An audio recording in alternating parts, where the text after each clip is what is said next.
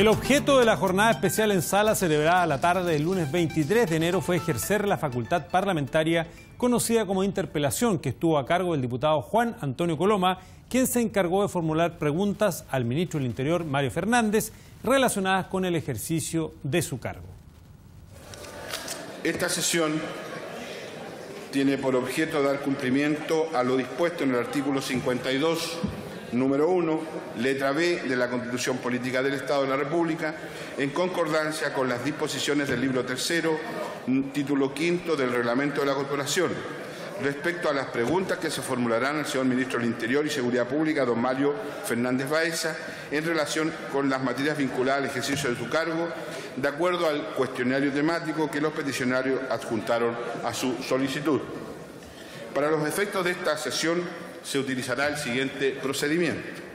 El diputado designado para interrogar al ministro formulará las preguntas de una en una, pudiendo referirse a los antecedentes que justifican su formulación en un término de hasta dos minutos por cada una de ellas. El ministro deberá responder las preguntas una a una inmediatamente después de formulada, en forma sucesiva y durante un lapso no superior a tres minutos por cada uno. El diputado designado para formular la pregunta tendrá derecho a pedir de inmediato aclaraciones sobre la respuesta por un tiempo no mayor de un minuto. El ministro responderá a la solicitud de aclaración por un término no superior a dos minutos.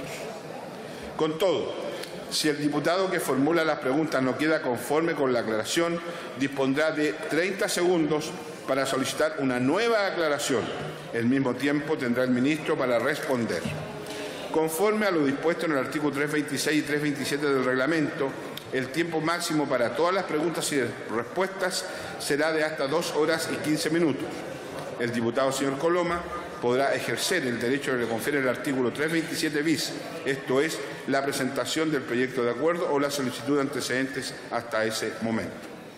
Concluido todas las preguntas y aclaraciones y entregadas por el ministro las respuestas a las interrogantes planteadas, los jefes de las distintas bancadas o aquellos a quienes estos designen dispondrán de hasta cinco minutos cada una cada uno, perdón, para hacer precisiones sobre la materia de la convocatoria o para pronunciarse sobre el proyecto de acuerdo o petición de antecedentes que eventualmente se presente.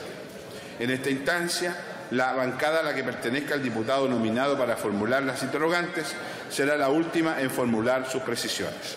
Por su parte, el ministro dispondrá de un total de cinco minutos para hacer sus comentarios.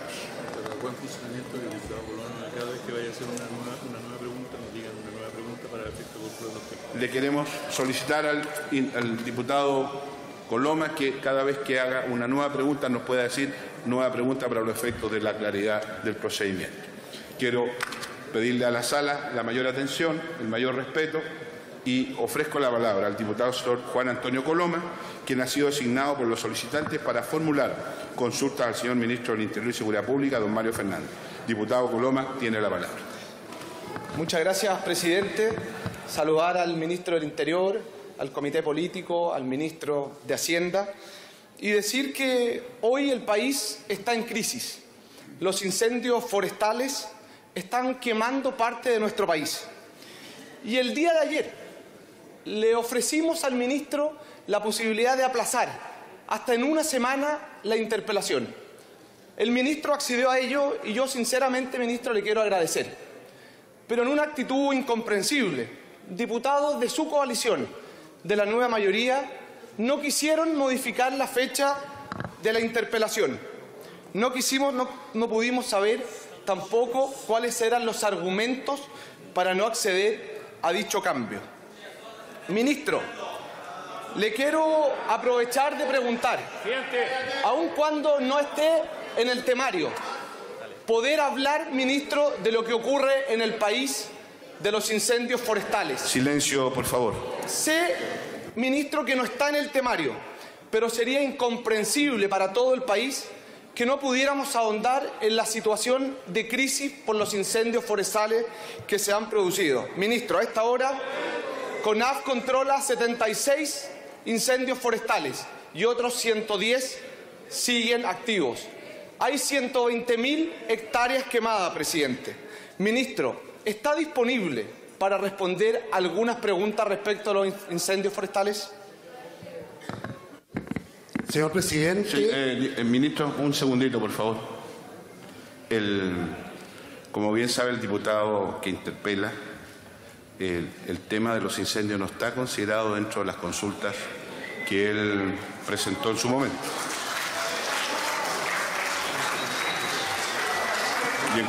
Y en, consecuencia, en, estricto rigor reglamentario, le pido al público que esperen que termine de hablar y, después mantengan silencio.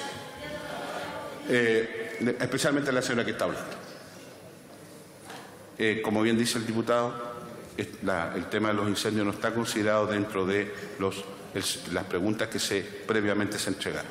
Sin perjuicio lo cual, le voy a solicitar al señor ministro, si él tiene la disposición de hacerse cargo de aquello, yo no tengo ningún inconveniente, solo, solo en tanto cuanto el ministro manifieste su disposición a contestar. Él no, no está obligado a hacerlo. ¿ah? Y quiero que quede claro que no está obligado a hacerlo, y sin, pero lo he conversado con él y me dice que él en principio no tendría mayor inconveniente en hacerlo, así que, señor ministro, le ofrezco la palabra. Eh, señor presidente, señor presidente, honorable Sala, señor diputado Coloma, eh, desde luego yo no tengo ningún problema, ningún problema, para eh, contestar las preguntas relativas a los incendios que están asolando a siete regiones del país. Yo entiendo perfectamente que la interpelación fue solicitada cuando esta emergencia no estaba ocurriendo y desde luego, por lo tanto, nuestro país eh, no podría entender, creo yo, de que la Cámara fuese citada un día distinto al de sus sesiones ordinarias para tratar un tema que no se relacione con lo que está pasando. Por lo tanto, yo estoy completamente dispuesto a responder lo que usted quiera respecto de la emergencia que el país está sufriendo.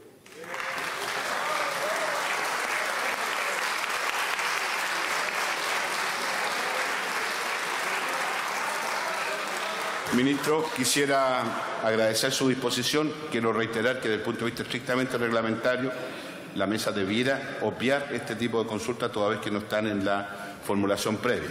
Solo entendiendo que usted está en disposición de hacerlo, no vamos a hacer mayor inconveniente respecto a eso. Sin perjuicio, perjuicio lo cual, el diputado señor Zafillo me está pidiendo hacer uso de la palabra. Por un tema de reglamento, sí, entiendo. Sí, un tema de reglamento, presidente. Lo que ocurre es lo siguiente. Quien define el temario respecto del cual el ministro interpelado debe responder es la Cámara, no es el interpelado. A partir de una petición formulada por el comité interpelador. Lo que yo quiero dejar claro es que no puede sentarse como precedente que sobre la marcha, en la misma sesión de interpelación, se modifiquen el cuestionario que debe ser entregado a priori al interpelado. Hoy día tenemos a un ministro del Interior disponible para contestar materias distintas, pero eso no puede dar pie para que de hecho en la práctica estemos cambiando el reglamento, presidente. Si es así, yo le pido, como jefe de comité independiente, sesión de comité, suspensión de la sesión y abordemos este tema, porque nos vamos a ver enfrascados a situaciones futuras que nos van a complicar en exceso la tramitación de las interpelaciones que vengan. La mesa, un momento, por favor. A mí me interesa que esto sea fluya con naturalidad, tenemos un tiempo de duración, etcétera. Les pido toda la mayor colaboración. Yo entiendo, y lo he dicho desde el comienzo, que desde el punto de vista estrictamente reglamentario no corresponde hacer consultas respecto a aquellas cosas que no están previamente indicadas en el cuestionario que nos entrega el interpelador. Por esa razón es que he dicho que solo es posible hacerlo en tanto cuanto hay una, un sentido común instalado en la corporación de que por tratarse de un tema de recurrencia posterior que tiene la gravedad que todos tienen, entendemos que tiene, solo en tanto cuanto el señor ministro esté en disposición de hacerlo, lo haríamos. Y, y, y, en consecuencia la idea no es sentar un precedente en esa dirección, porque entendemos que es una situación particularmente especial, de carácter excepcional. Les pido en ese sentido a la corporación tener la mayor amplitud para entender la dureza del problema. Si queremos abrir sobre esto un debate de carácter reglamentario, tendría que hacer una cosa distinta. Tendría que pedir el asentimiento de la sala para los efectos de proceder de esta manera. Si esa es la intención, le pediría entonces el asentamiento de la sala para que esto sea posible. Muy bien, lo hacemos entonces. ¿Hacemos qué?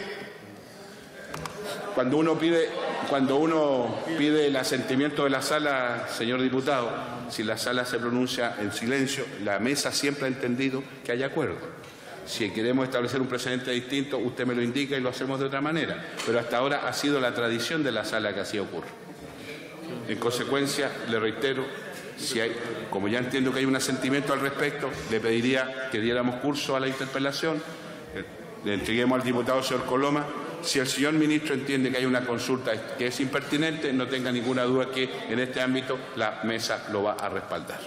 Señor Coloma. Presidente, yo he pedido antes la palabra. Diputado, señor Farías. Sí, no, yo quiero respaldar lo que ha planteado el diputado Zafirio en el sentido de que existe un reglamento y ese reglamento no podemos, eh, por eh, un, tema X, digamos, eh, cambiar, digamos, nuestro reglamento, porque si no eso podría dar pie a que futuras interpelaciones, con cualquier motivo, también ocurriera exactamente lo mismo. Por lo tanto, presidente, yo solicito formalmente, igual que el diputado Zafirio, que o se pide el acuerdo de la sala o tengamos reunión de jefes de bancada de manera unánime. Si no, yo, yo no, no estoy dispuesto, digamos, a dar la unanimidad para que se pregunte una cosa distinta, para lo cual esta sesión fue citada, señor presidente.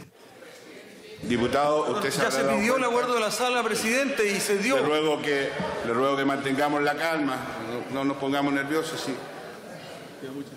Le he consultado a la sala su asentimiento. He explicado que el silencio a la sala, la mesa lo entiende como una aprobación del asentimiento. Bueno, pero ya le pregunté, pues, y en su momento nadie dijo nada. Entonces, procedamos procedamos. No, una hora imposible porque llevamos menos tiempo de sesión. Entonces, le ruego que me pido, les pido excusa. Mi intención es dar curso al procedimiento. Le reitero, el ministro tiene la amplia libertad para entender que si alguna pregunta es impertinente, nosotros vamos a respaldar aquello. Señor diputado Coloma, le ofrezco la palabra. Muchas gracias, presidente. Quiero agradecerle al ministro la posibilidad de que le responda al país algunas de las dudas que existen sobre los incendios que nos están azotando. Decirle a quienes muestran preocupación por los precedentes que lo que hay es que estamos frente a incendios sin precedentes. Y es por eso que amerita poder conversar sobre esta materia, poder debatir, poder eh, saber cuál es la impresión que tiene el Gobierno, cuáles fueron los plazos para poder decretar estado de catástrofe, si la reacción fue o no fue oportuna. Pero, ministro, hemos visto que una de las particularidades que ha tenido estos distintos incendios ha sido la forma en que se han producido. Han sido sin una cantidad indeterminada de distintos focos de incendio que se han producido las distintas regiones de nuestro país. Desde la quinta región y hasta la novena región hemos visto cómo estos distintos focos de incendio han ido transformándose en, este, en esta situación que tiene algunos países, algunas regiones, perdón, bajo verdadero estado de catástrofe. Ministro, me gustaría preguntarle, ¿está dispuesto a asegurar que estos focos no son intencionales? Ministro, ¿está dispuesto a descartar que exista alguna intencionalidad distinta en estos incendios? Gracias, diputado. Eh, señor diputado, no, eh, no estoy en condiciones de descartar intencionalidad. Eh, desde luego, la gravedad de lo ocurrido y de lo que está ocurriendo ha movido a todo el aparato del Gobierno y del Estado para abarcar toda la complejidad del asunto, que incluye desde luego, que incluye desde luego la actividad policial en los lugares donde se han producido los incendios. Eh, la PDI tiene una unidad encargada de esta materia y Carabineros dentro de sus atribuciones también está pendiente de este asunto. Eh, acá también debo distinguir, hipotéticamente, de que teniendo presente que sea intencional o por una eh, actividad humana, digámoslo así, el inicio de los incendios, eh, hay que distinguir una serie de alternativas. Puede tratarse de una intencionalidad directa, de actuar con dolo, con el propósito de causar el incendio y puede ser también producto de una negligencia, como el, fiscal señor Arias ha anunciado en los últimos días respecto a una investigación que está llevando a cabo para eh, averiguar si efectivamente pudo haberse producido una negligencia en un tendido eléctrico en la sexta región. Por lo tanto, eh, respondiendo directamente a su pregunta, no, desde luego que no, no es posible descartar ninguna alternativa. Gracias, señor ministro. Le ofrezco la palabra al diputado señor Colón. Eh, Gracias, ministro. Una pregunta nueva. Muy bien. Ministro, estamos frente a una catástrofe forestal y ambiental de la más grande que hemos vivido. En Chile nos hemos forjado ante la adversidad y estoy seguro que vamos a salir junto de esto. Pero mientras Chile se estaba quemando, el gobierno veía los incendios por televisión, ministro.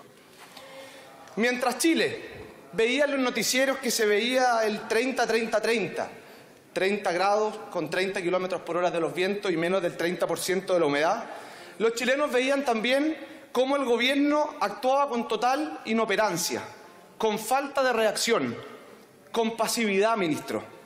Las, condiciones climáticas ya eran adversas a inicios de enero. El 13 de enero el alcalde de Santa Cruz le envió una carta solicitando poder tener una audiencia para hablar sobre las catástrofes. La respuesta fue que le iba a responder a la vuelta de sus vacaciones el 20 de enero.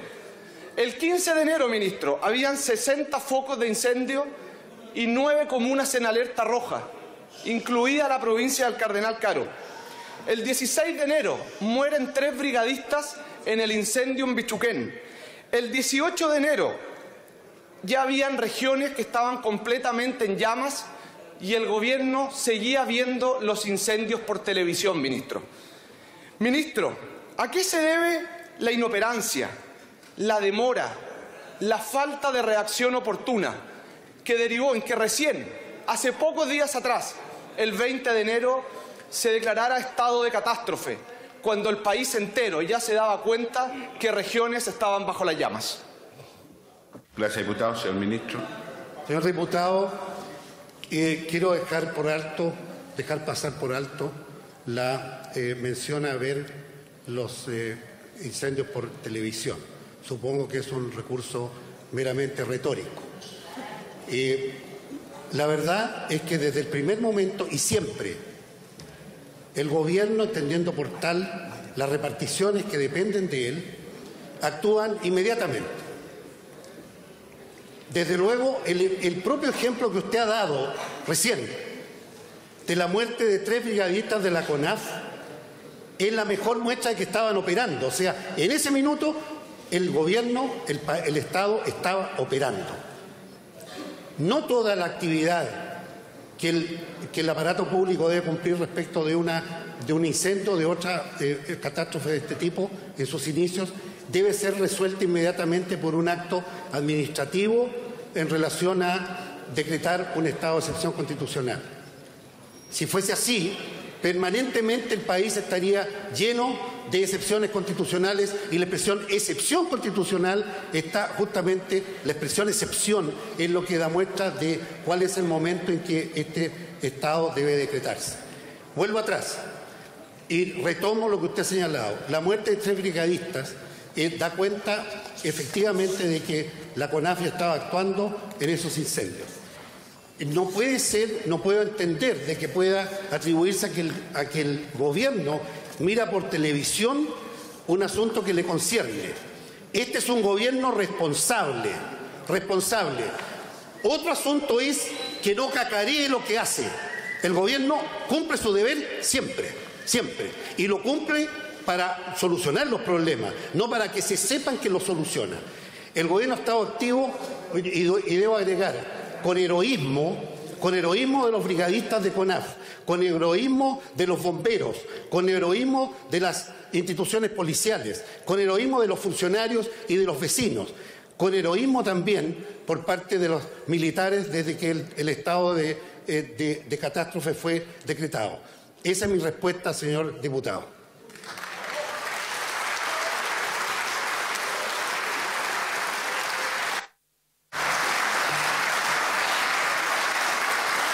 Diputado, señor Coloma.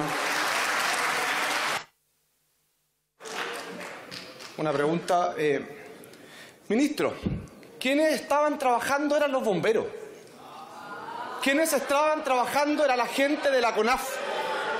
Pero le digo, ministro, el comentario no es retórico. El gobierno estaba viendo los incendios por televisión. Desde los escritorios veían cómo se quemaban miles de hectáreas en nuestro país. Diputado, señor Coloma. Y le voy a decir, ministro, Diputado, señor Coloma, perdone que lo interrumpa. Les quiero pedir al público si, eh, si eh, expresan alguna manifestación en favor o en contra mientras alguna de las personas está hablando, lo que tenemos es que se pierde el, el contenido, entonces después no es posible responder. Les pido, por favor, que dejemos que tanto el interpelante como el interpelado puedan escuchar y responder. Gracias. Diputado, señor Coloma, por favor. Gracias, presidente. Reitero, el gobierno estaba viendo los incendios por televisión. Ministro, el 10 de enero, en la Comisión de Agricultura de esta Cámara de Diputados, vino a exponer el director nacional de la CONAF. ¿Sabe lo que dijo? Que estaban preparados, que tenían todas las capacidades para efectuar un plan de respuesta temprana.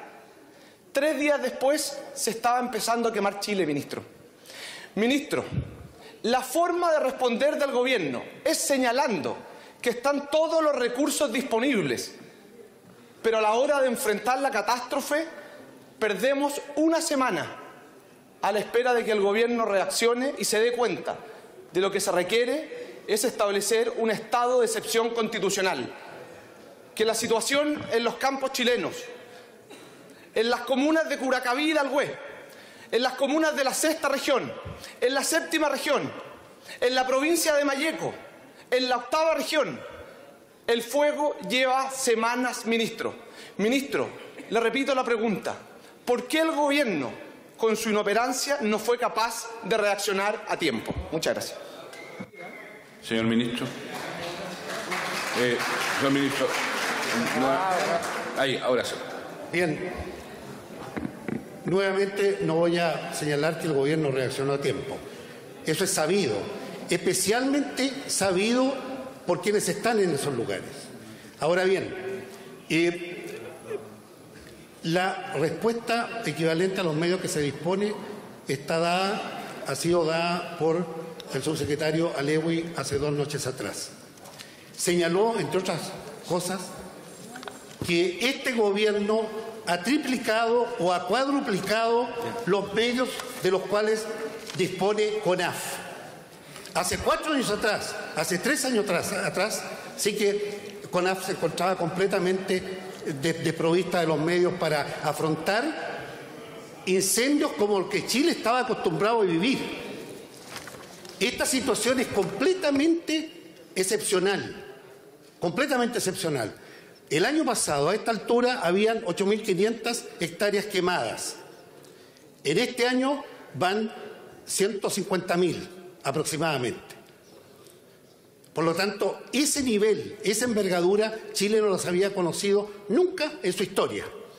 Y aún así, aún así, se ha respondido, los incendios están siendo controlados para poder impedir de que las vidas humanas sean las víctimas.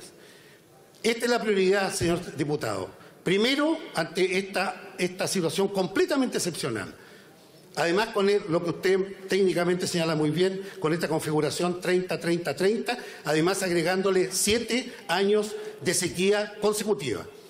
Ante esto, el gobierno está preocupado en primer lugar de las vías. Aparte de los tres brigadistas y de un joven que huyendo de un incendio chocó con su moto, no ha habido ninguna víctima fatal a pesar de la envergadura de esto. ¿Por qué?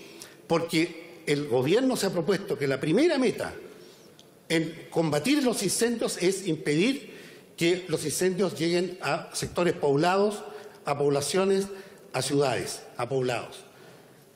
No se ha conseguido, obviamente, completamente eso, pero da la inmensidad del siniestro en siete regiones, eh, el que no se haya producido ninguna víctima fatal hasta ahora, habla bien de cómo se está combatiendo esto. Primero, las vidas. En segundo lugar, los servicios imprescindibles. Energía, agua. Los principios. Y en tercer lugar, el control de los incendios para los efectos que no se extiendan, especialmente en los sectores poblados. En cuarto lugar, extinguirlos. Se habla mucho de aviones, por ejemplo. Y no se dice que los aviones en los incendios no son para tirar agua y extinguir el fuego, son para humedecer la zona y permitir de que los brigadistas y los bomberos actúen. Esa es la, finalidad. Y se habla por ahí de enormes aviones que deberán venir. Mientras más alto vuela el avión, más ineficaz es en producir el, humedad en los incendios.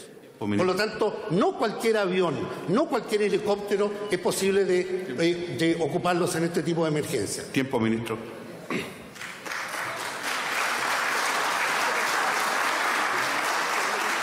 Diputado señor Coloma, le ofrezco la palabra. Gracias, presidente. Le quiero pedir una aclaración al ministro. Él ha señalado de que apagar los incendios es la primera meta. ¿Qué manera de fracasar en la primera meta que se ha puesto el gobierno, presidente? Los incendios, según la información, hasta hace pocos minutos atrás habían al menos 50 incendios descontrolados. Y sobre todo que cuando el director de la CONAF nos señala que están preparados para apagar incendios en forma temprana, tenemos que este año se ha quemado 17 veces más incendios que en el año anterior, ministro. Ministro, ¿de qué preparación previa me hablan? ¿De qué capacidad para tener un plan de respuesta temprana? Cuando basta con escuchar a los alcaldes, a los brigadistas, a los bomberos, a la gente que se le está quemando los campos y las casas para saber que el gobierno ha fracasado en esta postura. Ministro, ¿Está conforme con la actuación del gobierno o siente de verdad que ha defraudado a quienes esperaban que el gobierno fuese, hiciera de esta su primera prioridad?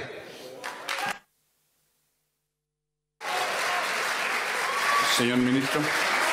Señor diputado, señor diputado, la acción del gobierno frente a esta emergencia no es un acto de performance, de ver cómo se comporta yo esperaría, espero, de las autoridades públicas de este país que en este minuto estén unidas enfrentando la emergencia. Después vendrá la crítica, después gastemos tiempo en eso. Lo que necesitamos es apoyo, es opiniones constructivas. Yo eh, verdaderamente cuando accedí, cuando accedí a tener un diálogo sobre este tema, yo estaba completamente seguro que íbamos a tener un diálogo constructivo de cómo es posible ayudar más para eh, enfrentar esta emergencia de la mejor manera. En vez de eso, desgraciadamente, he tenido aquí una decepción, señor diputado.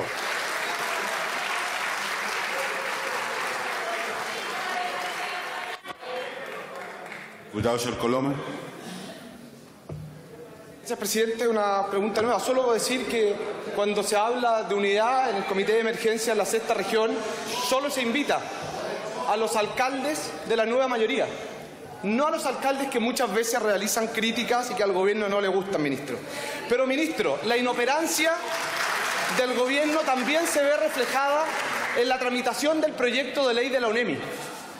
Proyecto ingresado en el gobierno del presidente Piñera, aprobado por la Cámara de Diputados y que apenas llegó la presidenta Bachelet, se paralizó en el Senado. Resulta especialmente paradójico que un gobierno al que le ha tocado sufrir en su primer mandato el terremoto del 27F o el terremoto de Tocopilla y en su segundo mandato el terremoto en la cuarta región, en Chiloé, los aluviones de Atacama, no esté dispuesto a avanzar en, darle una institucionalidad al país con una nueva ley de ONEMI. Yo entiendo que a un gobierno le puede no gustar un proyecto por el solo hecho que lo presentó el gobierno anterior. Pero no entiendo, ministro, que no seamos capaces de presentar indicaciones, de decir qué es lo que pensamos, de sacarlo adelante.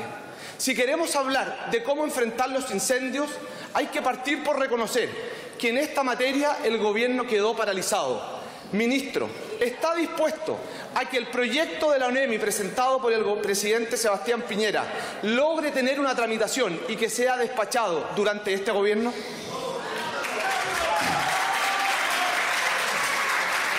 Señor ministro, le ofrezco la palabra. Señor diputado, señor diputado, desde luego, todo Estado, y el nuestro es un Estado que pretende ser en forma, como diría Portales, todo Estado es una secuencia de actos que van cumpliéndose en determinados, en distintos periodos de gobierno. ¿ah? Eh, este gobierno, este gobierno, espero que los otros también, los que le han precedido, no han actuado nunca con una actitud ni revanchista ni egoísta. Eh, como lo vamos a ver seguramente porque está en el, en el cuestionario temático, eh, al igual como ocurrió en el proceso, en el, en el, proyecto de migraciones, que también hay un proyecto ingresado en el gobierno anterior, en todo gobierno que pueda ser eh, útil, todo proyecto que pueda ser útil, que pueda ser enmendado, que pueda ser estudiado y especialmente a raíz de esta nueva situación climatológica que se ha producido, que nos ha traído este, este tipo de catástrofes, desde luego que no podemos sino estar dispuestos a que, atendido a lo ocurrido, eh, tengamos una moderna legislación para enfrentar las emergencias. Gracias, señor ministro. Diputado, señor Coloma. Presidente, quiero pedirle una aclaración al ministro. Muy el, bien. go- el gobierno, ministro, tiene las urgencias. Tiene la posibilidad de presentar indicaciones.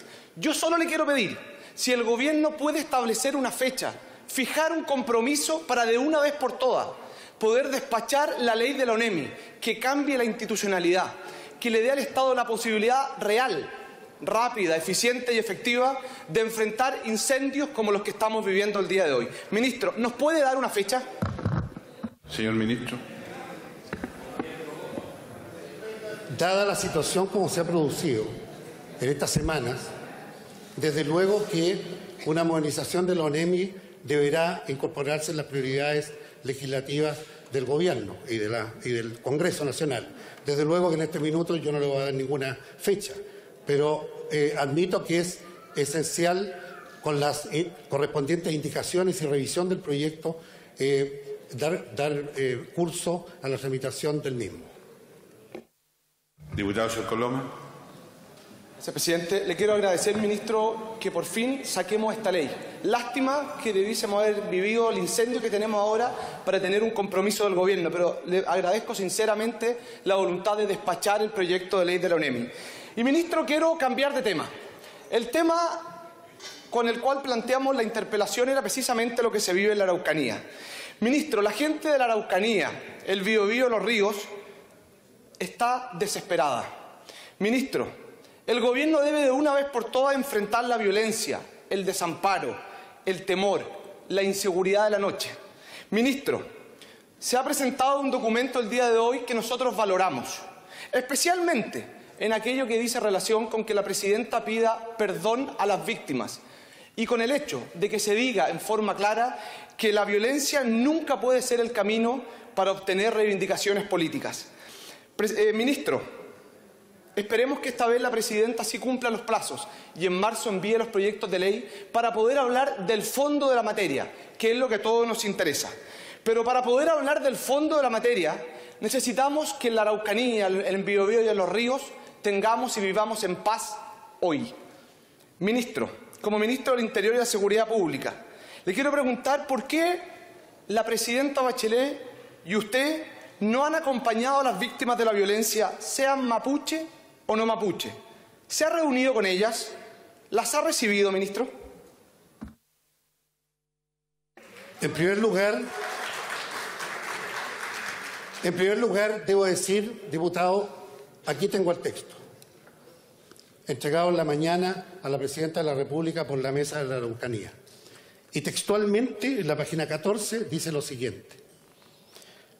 Por lo anterior y como iniciativa base, se propone que la Presidenta de la República debiera manifestar públicamente, en representación del Estado de Chile, no del Gobierno, del Estado de Chile, una petición de perdón por las consecuencias que ha provocado este conflicto al pueblo mapuche.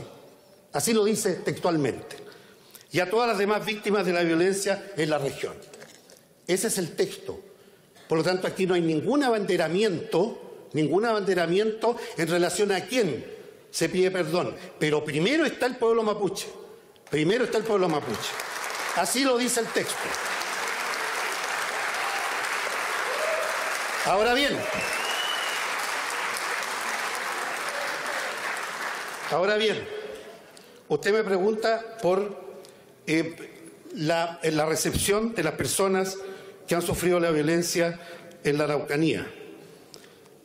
La, aquí tengo una lista que por lo demás en esa, ese carro con documentos ha ingresado a la Secretaría enviada por mí para respaldar todo lo que sea, vamos a decir en esta sesión. Ahí está, ahí están todos los datos.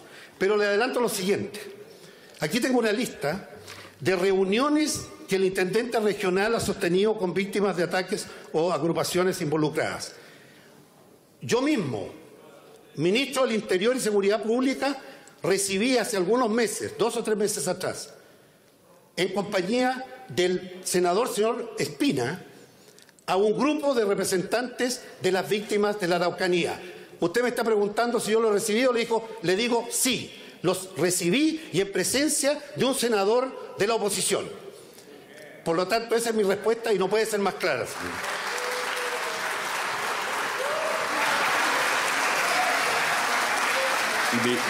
Diputado, eh, ministro, ministro, corta, ministro, si está gentil. Ya. Diputado Sor Coloma. Gracias, presidente. Nosotros queremos paz para las víctimas mapuches y no mapuches, ministro. Queremos paz para toda la región de la Araucanía.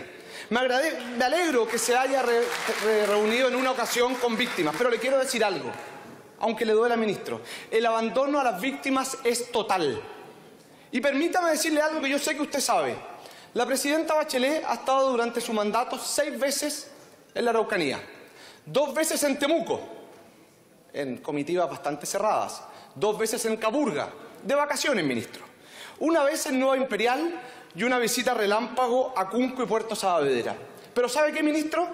De todas estas comunas no concentran ni una mínima parte de los más de 680 ataques que ha sufrido las personas mapuches y no mapuche, ministro. Ministro, la presidenta va a la Araucanía en verdaderas comitivas blindadas, no parando en las zonas donde realmente hay dolor, hay sufrimiento por parte de las víctimas, ministro. El dolor de las víctimas, la presidenta no lo puede ver, porque parece que va solamente a comunas donde no hay problemas. Ministro, las víctimas están desamparadas, solas, no saben de qué lado está el gobierno. Cuando le digo que usted no ha recibido a las víctimas, ministro, le digo porque ni en los tres años de, que ha estado la presidenta Bachelet, ni en los siete meses que usted lleva de ministro, se han juntado con ninguno de los hijos de la familia Lutzinger Macay quienes lamentablemente son un caso emblemático, luego de que sus padres fueran quemados vivos. Ministro, ¿por qué ni usted ni la presidenta se ha reunido con ninguno de los hijos de la familia Lutzinger Macay? ¿Y por qué ni siquiera los han contactado? Señor ministro. Respecto de la preocupación de la presidenta Bachelet por la Araucanía, le informo a usted lo siguiente.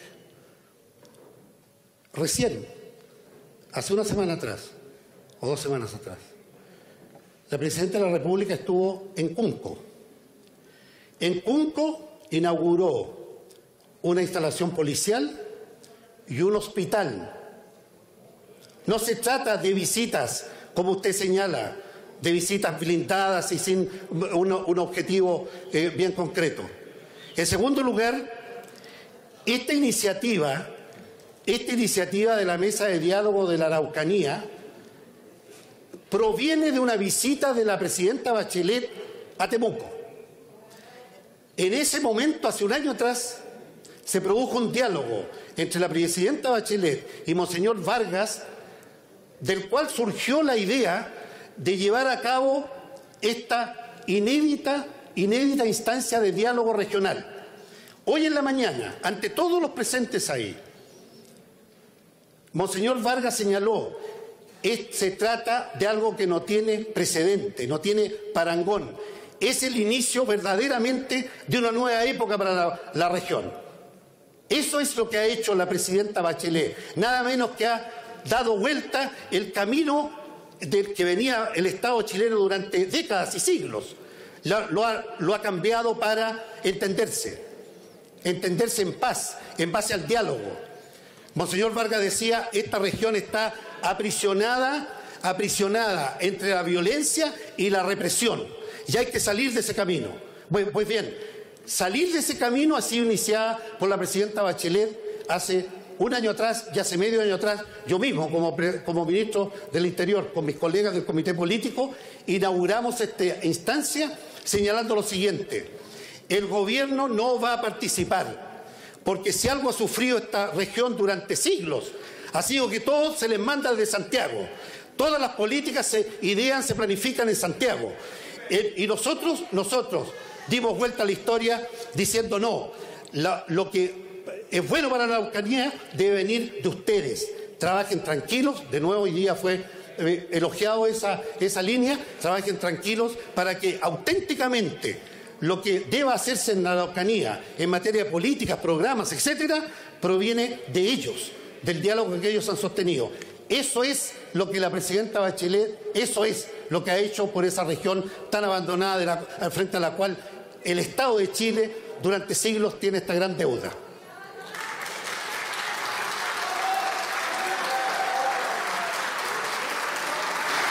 Gracias, señor ministro. Le ruego, ministro, que eh, cancele el micrófono para poder ofrecerle la palabra. Diputado, señor Coloma. Gracias, presidente. Ministro, ¿de, qué país me habla? ¿De qué me habla, ministro? Ministro, usted dice que la presidenta Bachelet fue a inaugurar un hospital. Ministro, está en construcción. Lleva el 42% de avance. A eso fue la presidenta. Ministro, no me respondió. Pero usted no ha ido a reunirse, ni usted ni la presidenta, con los hijos de la familia Lutzinger Macay. Y la gente se pregunta sinceramente de qué lado están, de las víctimas o de los victimarios. Pero esto es mucho peor, ministro. En una situación inédita, el intendente de la novena región fue a visitar a la imputada y formalizada Francisca Linconao. ¿Y sabe lo que le dijo? Se sacó una foto y le dijo, no te preocupes, no estás sola. Ministro, Además, un grupo de parlamentarios, algunos aquí presentes, en un acto sin precedentes, fueron a alegar la inocencia de Francisca Linconao, sin tener ni los antecedentes ni un juicio, situación que fue calificada por el fiscal nacional ministro como una intromisión en el Poder Judicial. Pero esto no es todo, ministro. Le quiero decir qué es lo que dijo textualmente el fiscal nacional. Dijo, la campaña en favor de Linconao se inició a partir de ciertos organismos internacionales interesados en la defensa de algunos imputados y agregó, tiene que ver con la forma de enfrentar la causa, de modo de tratar de quitarle valor antes del juicio, de modo de sentar perjuicio de los jueces, con el objeto de obtener una sentencia absolutoria que no obtendrían en el evento de no tener esta campaña previa. Ministro, le pregunto, ¿usted envió al intendente Hernández a visitar a la formalizada por un delito terrorista Francisca Linconao? ¿No le parece que si no hubiese ocurrido eso, lo mínimo era pedirle la renuncia? Señor ministro, le ofrezco la palabra. ¿De, ¿De, qué país estoy hablando? Su primera pregunta. De Chile. Señor, señor diputado, de Chile país que nació allá, país que nació allá. Ese, ahí está el nacimiento de Chile. Ahí está nuestro pueblo origen. Ahí está el origen de este país y de nuestro pueblo.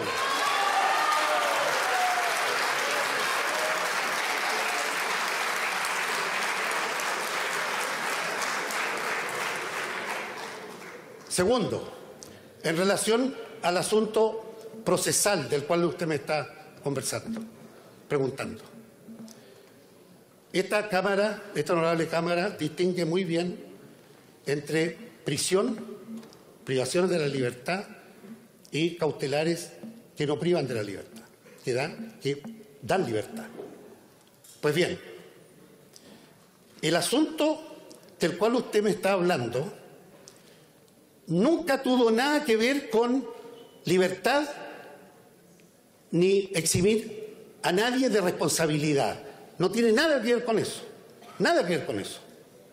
Se trató la última, para no hacer una larga eh, descripción de todo el proceso, de la última fase del proceso, se trató la última eh, eh, audiencia, se trataba de lo siguiente, de un recurso de amparo, de la acción constitucional de amparo y las instrucciones que tuvo el abogado del Ministerio del Interior fue corregir, corregir la decisión que había adoptado la Corte de, Apelaciones de Temuco cuando erróneamente, tratándose de cambiar una cautelar, estableció que debía haber unanimidad en circunstancias que la, una, la unanimidad de votos de la Corte es exigida según el artículo 19, número 7, letra E, segundo inciso de la Constitución, se exige para la libertad. Y lo que se estaba tratando ahí no era la libertad, sino el cambio de la medida cautelar. Y la medida cautelar no es la libertad de la Machi Linconao, sino eh, mantenerla privada de libertad en otras condiciones. Por lo tanto, hay que ser preciso en lo que se debate. Y esta sala merece tener, eh, de tener un debate de esa altura para entender en qué consistió la actividad del Ministerio en esa ocasión.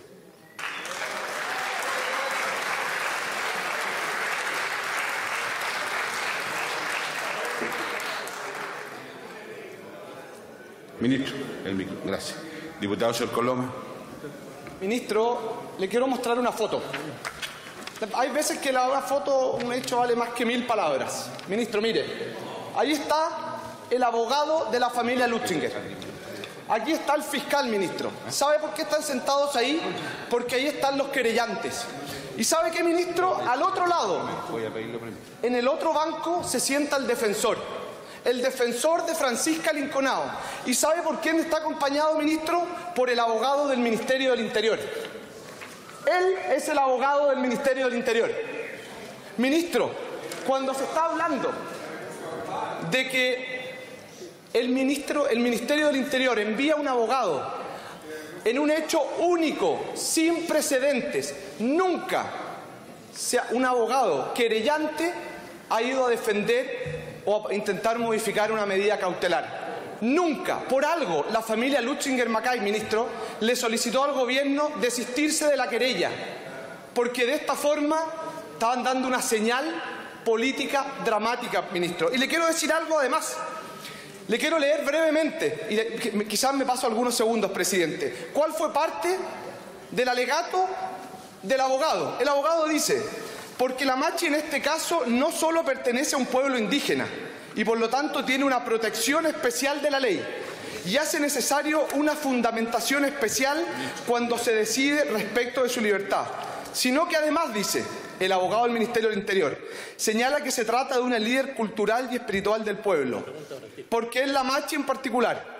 Linconado en este caso tiene una condición distinta al resto de los imputados. Su libertad en particular, por razones de hecho, debe estar debidamente documentada, refleja la necesidad de libertad de que ella sea especialmente protegida. Especialmente protegida. Ministro, usted le solicitó al abogado que fuese a dar esta declaración, esta defensa respecto de una persona imputada por un delito de quemar vivo a una pareja de adulto mayor como es el matrimonio de Luchinger Macay. Gracias, diputado. Le, he pedido al diputado que nos adjunte las fotografías para exhibirse al señor ministro, ¿ah? por si acaso. Señor ministro. Diputado, aquí tengo las fotos. ¿ah? Diputado, eh, voy a tener que repetirle algunas cosas. Mire, esta audiencia nada tiene que ver con la libertad o pedir la, la carencia de responsabilidad penal de la Machi Francisca Linconao. Nada tiene que ver con eso. No es una audiencia que tenga que ver con el juicio principal. El gobierno es querellante y ha, actuado siempre así. El gobierno es querellante en este caso. Y le quiero decir, diputado, es de los querellantes que no abandonan la audiencia como algunos querellantes de la bomba que se instaló en, el metro de la escuela militar, que después de presentar una, después de presentar una querella eh, por delito terrorista, después abandona la instancia para dejarlo sin tramitación. El gobierno, el gobierno siempre ha actuado como querellante. Esta audiencia era, tengo que repetirlo, era la tramitación, la vista de una acción de amparo constitucional, que tenía que ver con corregir una resolución que la misma Corte había adoptado unos días atrás.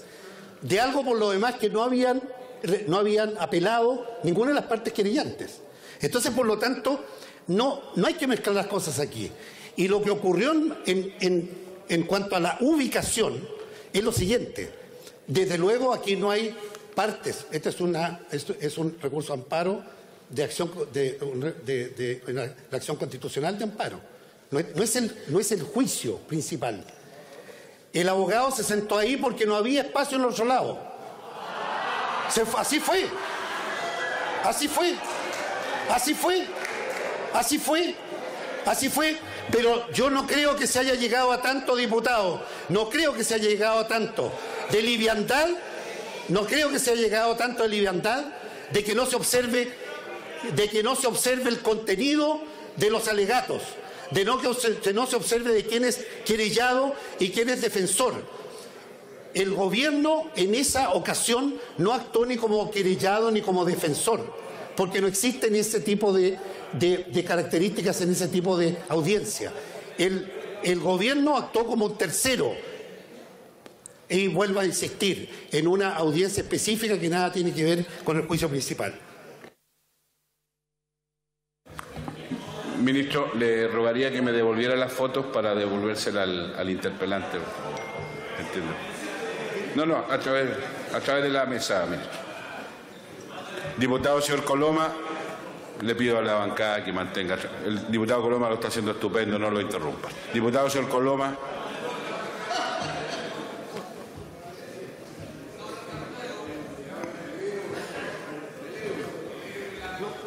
No, no, no está bien usted. ¿Hay alguien que tiene, por favor, el micrófono? Un segundito, diputado. Ahí sí. Ministro, quiero que quede en la historia que por primera vez un abogado querellante se sienta a defender a la persona que está imputada por cometer un delito de asesinato por incendio porque no había espacio en la silla. Ministro, pregunté especialmente, en ese banco se sientan en otras ocasiones cuatro abogados. Hay dos sentados, cuatro. ¿Y sabe qué, ministro? Hay veces que la imagen vale más que mil palabras.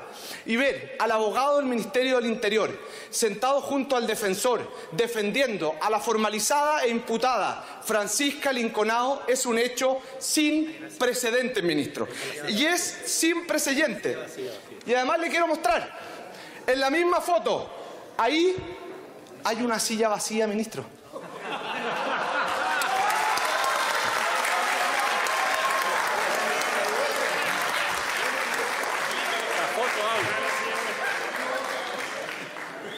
Ministro, después de darse cuenta que sí había espacio, le quiero preguntar, ¿por qué enviaron a un abogado de Santiago?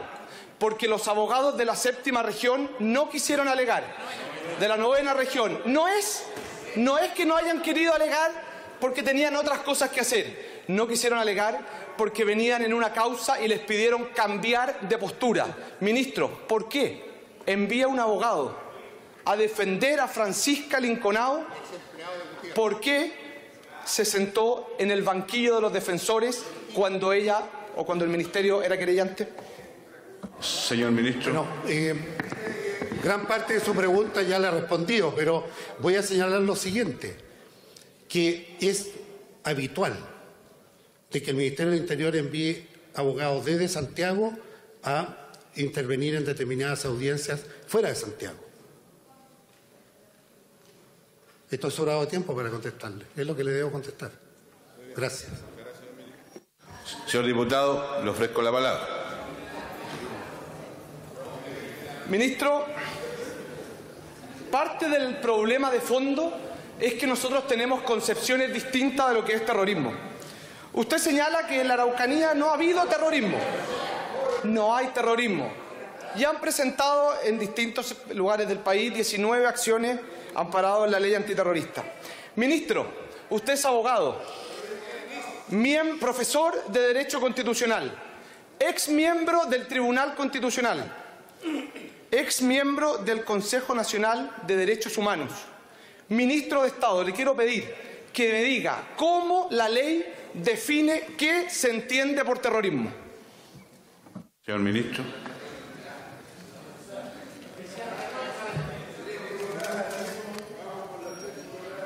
Está, sí, está en el artículo, está en el artículo tercero del decreto ley 7912. Sin, sin leer, ¿eh? se lo estoy diciendo de memoria. Ahí está.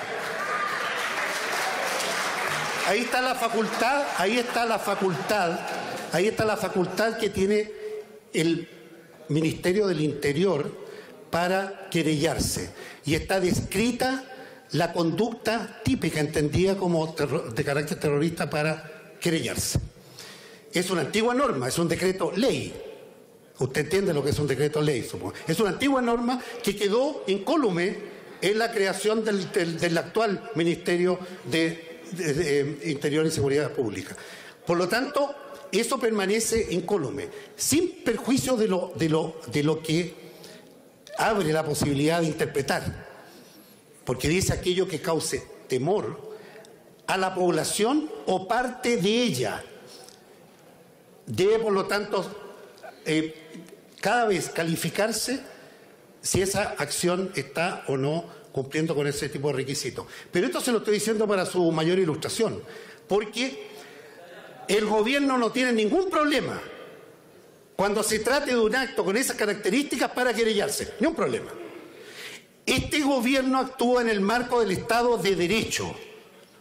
Y el Estado de Derecho, el Estado de Derecho es una combinación de que las autoridades y los órganos del Estado actúan dentro de sus competencias junto con la plena vigencia de los derechos de las personas. Estado de Derecho no significa derecho a reprimir. Estado de Derecho también es respetar los derechos de las personas. Por lo tanto, entonces, yo sé, yo sé muy bien yo sé muy bien, sé muy bien como ministro del Interior lo que es, lo que es una conducta terrorista. Lo sé muy bien. Y no tengo ningún problema como jefe de mi ministerio de querellarme cuando actúa, cuando se produce una situación como hace muy poco ocurrió en, en la localidad de La Reina. Entonces, por lo tanto, le quiero señalar lo siguiente, que cuando se produce cualquier alteración del orden público, el gobierno debe actuar con prontitud, pero también con serenidad. Y debe calificar los actos tal como son y no como aparecen. Se ha hecho gran recaudo de que otro acto ocurrido, otro, drama ocurrido en la localidad de Cañete, se ha tildado desde el principio como un acto terrorista y se ha reclamado que el gobierno lo considere así. Señor diputado, nosotros debemos esperar, debemos esperar a que el fiscal a cargo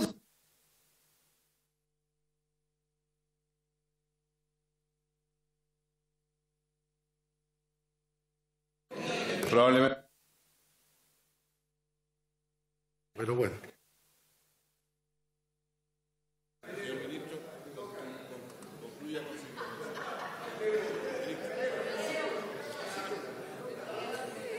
Es el Ministerio Público, es el Ministerio Público la entidad que en Chile tiene a cargo exclusivamente la investigación y es el Ministerio Público el que califica un acto. Cuando el Ministerio Público califica un acto como terrorista, no, normalmente no hay ningún problema para que el gobierno adhiere a esa querella.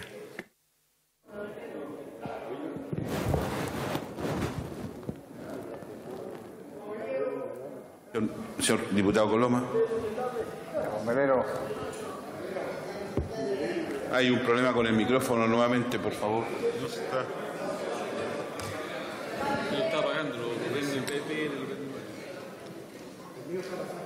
No hay algún Un segundito, diputado. José Pérez. Ahora sí. Ahora, diputado, le ofrezco la palabra. Gracias, presidente. Ministro, qué bueno que se haya acordado de la ley, del número y del artículo. Pero le quiero decir dos cosas. Primero, le quiero decir cómo la ley define incendio, para ver por qué se configuran las causales. Dice el 474, que me imagino usted conoce, dice el que incendiare un edificio en relación a una construcción, causando la muerte de una o más perso- personas cuya presencia allí pudo preverse. Hace sentido. Ministro, del 476 se hace en otra referencia a la ley de incendio, dice el que incendiare un edificio destinado a morada aunque no hubiese nadie dentro. O el que incendiare cualquier edificio o lugar aunque no estuviera destinado a la habitación. Incluso, cosa muy contingente, el que incendiare bosques también es parte del delito de incendio. ¿Y por qué se lo leo? Porque la ley antiterrorista, ministro, señala que constituyen delitos terroristas cuando se cometa con la finalidad de producir en la población, en parte de ella, temor justificado a ser víctima de los delitos. Ministro, se han quemado casi un centenar de casas, 20 iglesias, todos los días maquinarias. Eso es producir temor, ministro. Y que además esto obedezca a un plan premeditado para atentar contra una categoría o grupo de personas. ¿O no ha visto todos los carteles que hay en la novena, octava y decimocuarta región en este tema? Ministro, le quiero decir, y quiero hablar el tema de fondo. Usted y su gobierno, ministro, no pueden o no quieren reconocer que en la Araucanía sí existe terrorismo. Existe porque hay temor que busca un fin determinado y porque se configura parte de la ley antiterrorista, que es producir el delito de incendio. Ministro, usted es abogado, ex miembro del Tribunal Constitucional. Le pido que en su razón de abogado, quizás no de ministro de Estado, me pueda decir si se constituye o no se constituye delitos terroristas en la Araucanía.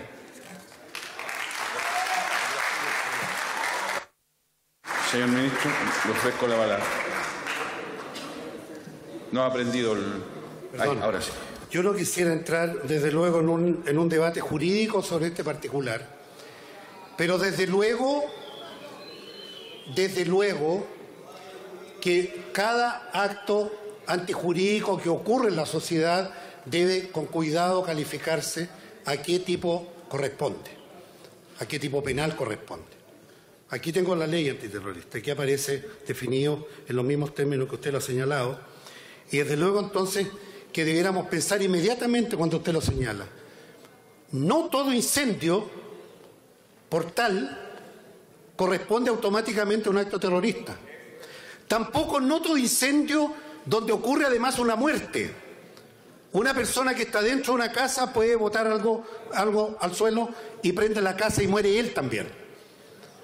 Y cuando se descubre esto, causa obviamente temor a la población.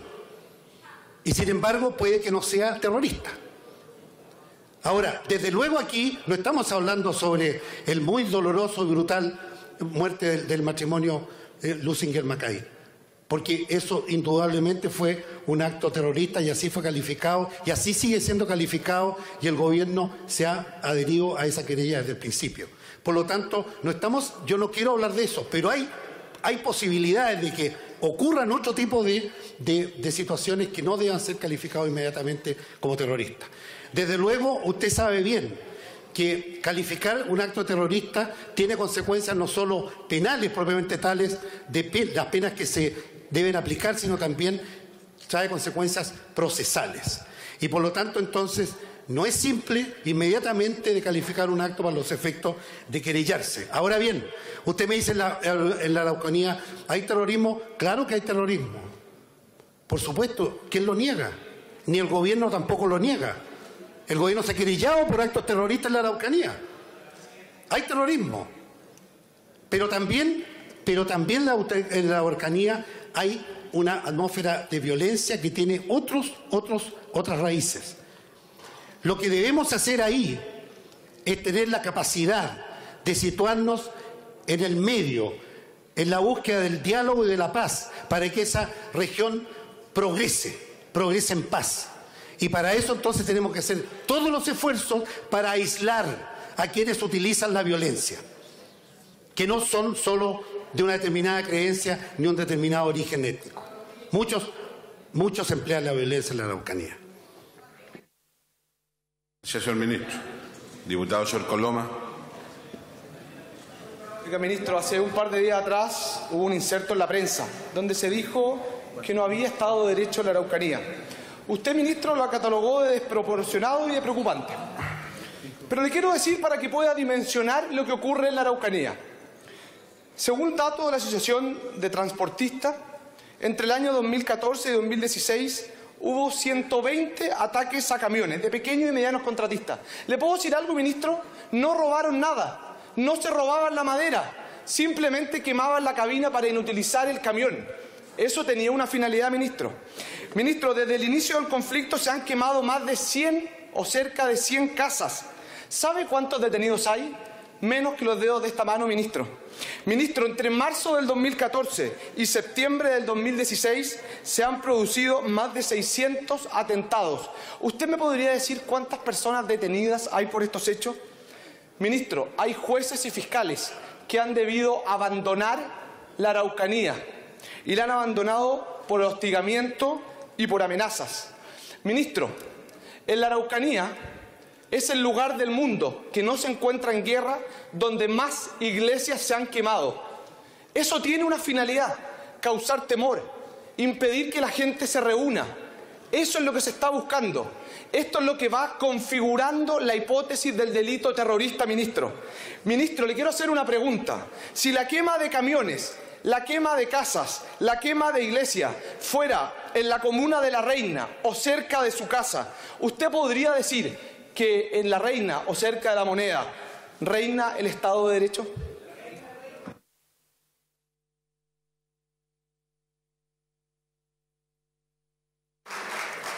Señor diputado, señor diputado, le doy una sola cifra.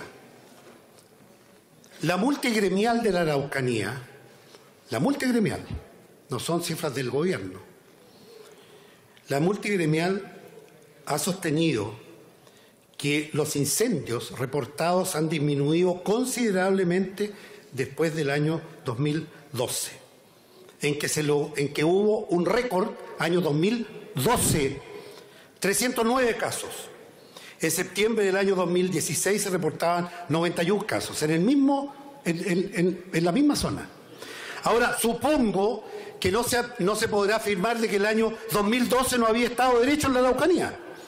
Supongo. Entonces, tengamos sentido las proporciones también. Admitir o señalar que no hay Estado de Derecho en una región del país con este tipo de encuestas, con este tipo de datos, eh, lleva al país a reflexionar sobre algo más profundo. Este país sí conoció cuando había ausencia de Estado de Derecho. Durante 17 años este país sabe bien cuando no hay Estado de Derecho. La ausencia, la ausencia de Estado de Derecho, señor diputado, la ausencia del Estado de Derecho es algo muy grave, muy grave. Y es por eso que cuando apareció ese inserto yo dije que era desproporcionado y fui muy medido al decir que era desproporcionado. Porque no puede, no puede sostenerse que habiendo una situación anómala, violenta, como ocurre en la Araucanía, eso sea equivalente a ausencia de Estado de Derecho, porque eso es negarnos a nosotros mismos, es negarse esta sala a sí mismo. Este es el Estado de Derecho donde estamos, hablando con libertad entre personas que piensan distinto, por ejemplo. Por lo tanto, en la Araucanía hay una situación compleja, hay una situación violenta, hay una situación preocupante, pero hay Estado de Derecho, es parte del Estado de Chile la Araucanía, señor. Gracias, ministro. Diputado señor Coloma, le ofrezco la palabra. Gracias, presidente. Ministro, lamento el típico argumento cuando no quedan argumentos. Me gustaría decirle, ministro,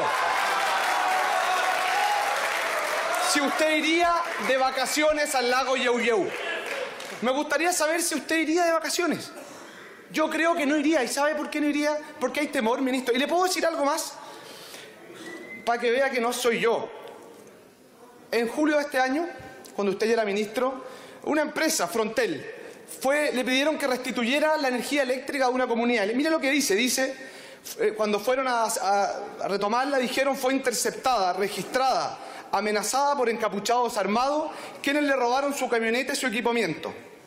No obstante, al día siguiente enviaron a otra brigada, esta vez resguardada por carabineros, a reponer el servicio. Pero tampoco pudieron hacerlo por los disturbios del lugar y la ruta estaba bloqueada. Pero como si fuera poco, Frontel realizó un tercer intento, el 2 de agosto, ministro, nuevamente custodiados por carabineros. ¿Y sabe lo que pasó? Fueron repelidos a balazos. ¿Ese es el estado del que usted me habla, ministro? Ministro, ¿sabe qué más? El, el Ministerio de Obras Públicas le encomendaron la reparación de un camino, de un puente. ¿Y usted sabe lo que dijo, ministro? Que no podían ir porque, porque recibían atentados y no estaba dispuesto el director a poner en riesgo la vida de sus trabajadores. Ministro, ¿sabe lo que ocurre? Que me gustaría a usted poder invitarlo, que vaya, Creo que parte de sus argumentos es porque no conoce la realidad de lo que ocurre, porque no está en contacto con las víctimas, porque no, porque disminuye porcentualmente un delito. Aquí estamos en el país de las maravillas. En la Araucanía, ministro, hay mucho miedo. Gracias, diputado. Señor ministro. No, no sé cuál es la consulta. Muchas gracias. Eh, perdón, perdón, ministro si le parece un par de segundos para que formule la consulta al diputado. ¿Ah? Diputado, lo escuchamos. Muy breve, ministro. Solamente le pregunto al ministro qué va a hacer para restablecer el imperio del derecho. Eso es lo que la gente de la Araucanía, muchos de los cuales están aquí presentes, quieren saber. Muchas gracias, diputado. Señor eh, ministro. Muchas gracias por la pregunta, diputado. Muchas gracias. ¿Qué es lo que hay que hacer? ¿Qué es lo que hay que hacer lo que estamos haciendo. Una mezcla, no, no diga eso, no diga eso, no diga eso. Es necesario armonizar un esfuerzo enorme para el desarrollo en la región, estimulando esfuerzos productivos, aumentando los centros culturales, también previniendo el delito, aumentando la, el, la iluminación de los caminos aledaños. Hay una serie de medidas que se están tomando por lo demás, todos los días. La inversión pública en la Araucanía ha aumentado sostenidamente. Haciendo eso, en segundo lugar, hemos desplazado allá, se ha desplegado durante los últimos años una cantidad de policías que no tiene parangón en Chile. El 10% de los carabineros de Chile está en la Araucanía. Yo nunca he negado en esta audiencia, no lo podría hacer, porque es parte de mis principales preocupaciones la situación que vive la Araucanía. Pero ¿qué es lo que tenemos que hacer? Tenemos que enfrentar el problema de cara y entenderlo en toda su magnitud. Y entender por qué en esas regiones ocurre lo que está ocurriendo. Y esas son preguntas muy severas que nos hace nuestro pasado como país. Eso es lo que hemos estado enfrentando con este esfuerzo a la mesa de diálogo, en que gente que nada tiene que ver entre sí, que hasta ahora pensaba muy distinto y que realizan actividades muy diversas, se han podido juntar, como hoy día en la mañana le dijeron a la presidenta, de frente, cara a cara y decirse las cosas como son. Así se hacen las cosas. No vamos a resolver ni como represión, pero tampoco con candidez un problema que lleva siglos. Entonces, usted me dice, se, hacen, yo, yo he ido para allá muchas veces, varias veces, y como ministro he ido tres veces, como ministro, en, siete meses, en siete meses. E iré todas las veces que sea necesario. Yo conozco bien mi país, diputado, pero además quiero agregarle, yo no soy de los que se echa a morir y cree que se rinde ante las, las adversidades y las situaciones complejas, menos este gobierno. Este gobierno ha enfrentado no solo esta, otros tipos de situaciones con coraje, que es normalmente lo que menos popularidad trae, pero lo ha enfrentado con coraje y con una mirada larga, para poder tener soluciones verdaderas y no soluciones parches, para que aparezca como que se solucionaron los problemas y sembrar nada que pueda florecer en el futuro. Por lo tanto, entonces usted me pregunta, ¿qué se, puede, qué se está haciendo? Mucho. Vea, vea las cifras, las cifras oficiales, vea las cifras y, y véanos a nosotros mismos. Tiempo. El hecho de estar preocupado de esto significa que estamos preocupados también por el futuro de esa región.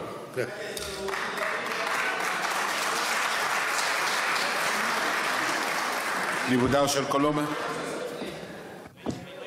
Gracias, presidente. Ministro, le he preguntado por terrorismo, por Estado de Derecho. ¿Sabe por qué? Porque hace pocos días atrás todos vimos un ataque que conmocionó al país, el que sufrió Oscar Landerreche, con quien solidarizamos desde acá. Pero, ¿sabe, ministro? En la Araucanía hay muchos Oscar Landerreche. Aquí en las tribunas nos acompaña don Arzoindo Bascur y su señora. Están sentados acá. Ministro, ellos viven en una casa de 113 metros cuadrados con un contingente de Fuerzas Armadas, de Fuerzas Especiales, adentro de su casa. Mire. ¿Le pido el tiempo? Le pido que mantenga silencio, señor. Señor, señor, diputado señor Cas, usted me pidió autorización. Le pido por favor que se haga cargo responsable de la situación.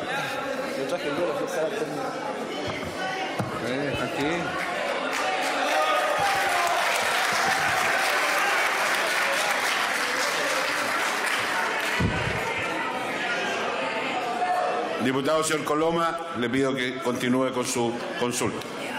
Mini- Ministro, esa es la angustia de una persona que vive con un contingente de fuerzas especiales adentro de su casa.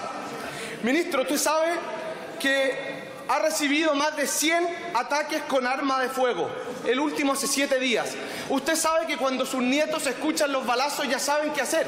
Tienen que gatear hasta su casa, porque si no los van a matar, ministro. Ministro, a ellos les han lanzado cuatro bombas cuatro bombas. ¿Y sabe qué más, ministro? Ellos para poder salir a la carretera que queda a 300 metros de su casa tienen que llamar un vehículo blindado porque no tienen autorización para caminar. ¿Sabe por qué, ministro? Porque les disparan a quemarropa. Ministro, esa es la realidad que se vive en Coyipulli. Ese es el miedo, esa es la sensación que hay de abandono, ministro. Ministro, si los hechos que le ocurrieran a él le ocurrieran en la comuna de La Reina, se querellarían por ley antiterrorista. Pero ellos viven en Coyipulli. Ministro, si ellos vivieran en La Reina, el accionar sería distinto del gobierno. ¿Y sabe por qué se lo pregunto? Porque han recibido cuatro ataques de bomba y todavía no hay ninguna querella de ley antiterrorista.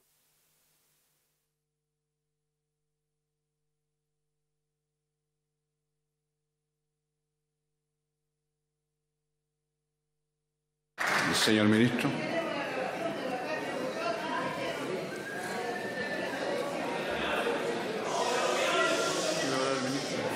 Le, le- le- le- le pido a... Yo entiendo...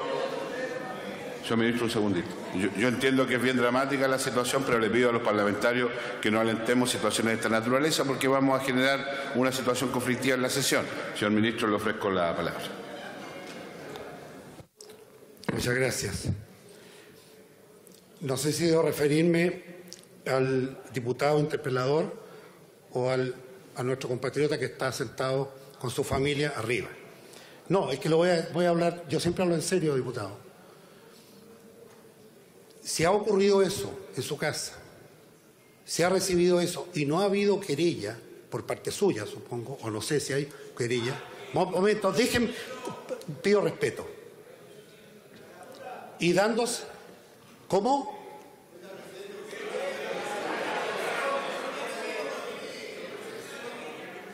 Yo, yo les quiero... Todo chileno, toda persona que vive en este país y que sufre de un acto como el que se señala acá, tiene derecho a ir a los tribunales. Y también tiene, y también tiene, ese es Estado de Derecho. Y también tiene derecho a que la autoridad lo socorra y lo apoye. Por lo tanto, si usted ha sufrido esto y requiere de que el Estado es que el gobierno se haga parte en un delito que pueda calificarse como terrorista, lo vamos a hacer. Usted tiene el derecho y usted puede llegar y concurrir a la oficina del intendente regional o venir aquí, al Palacio de la Moneda, para eh, eh, relatarme el caso que lo, lo afecta. Entonces, yo supongo, diputado, supongo, diputado, que usted ha invitado a esta familia para que dé su testimonio. No me imagino que lo ha- la, la ha citado acá para respaldar los argumentos que usted me está entregando, solamente. Si se trata de que ellos deben tener justicia, bueno, que la tengan. Aquí está la autoridad respectiva y usted en cualquier minuto puede ir a mi oficina para recibir su reclamo.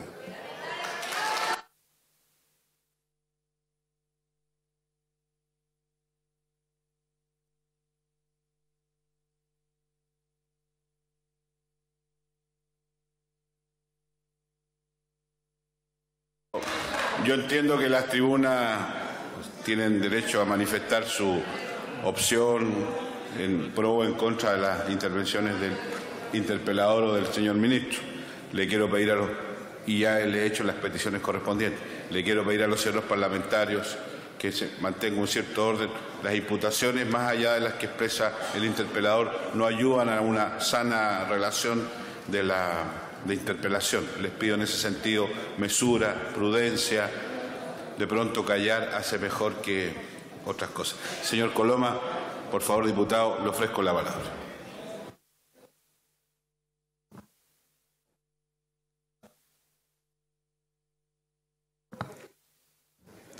Ahí. Presidente, quiero pedir una aclaración.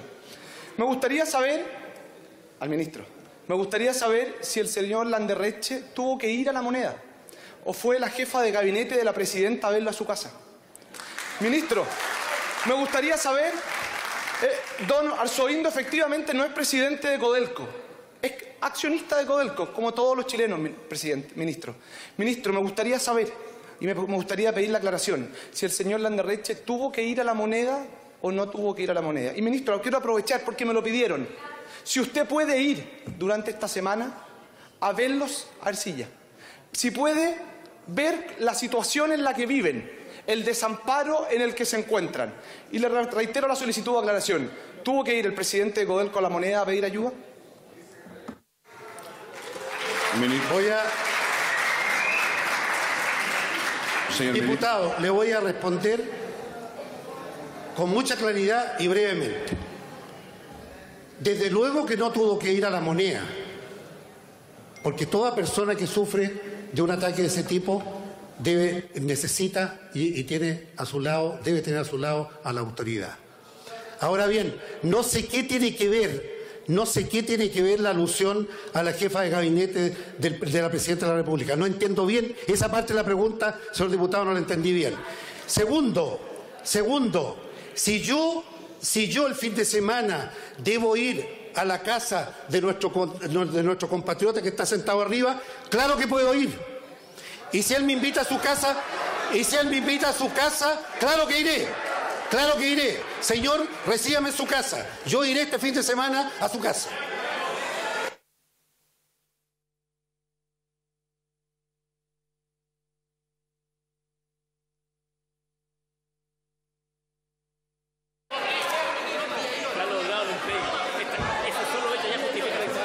Ministro, le agradezco que vaya.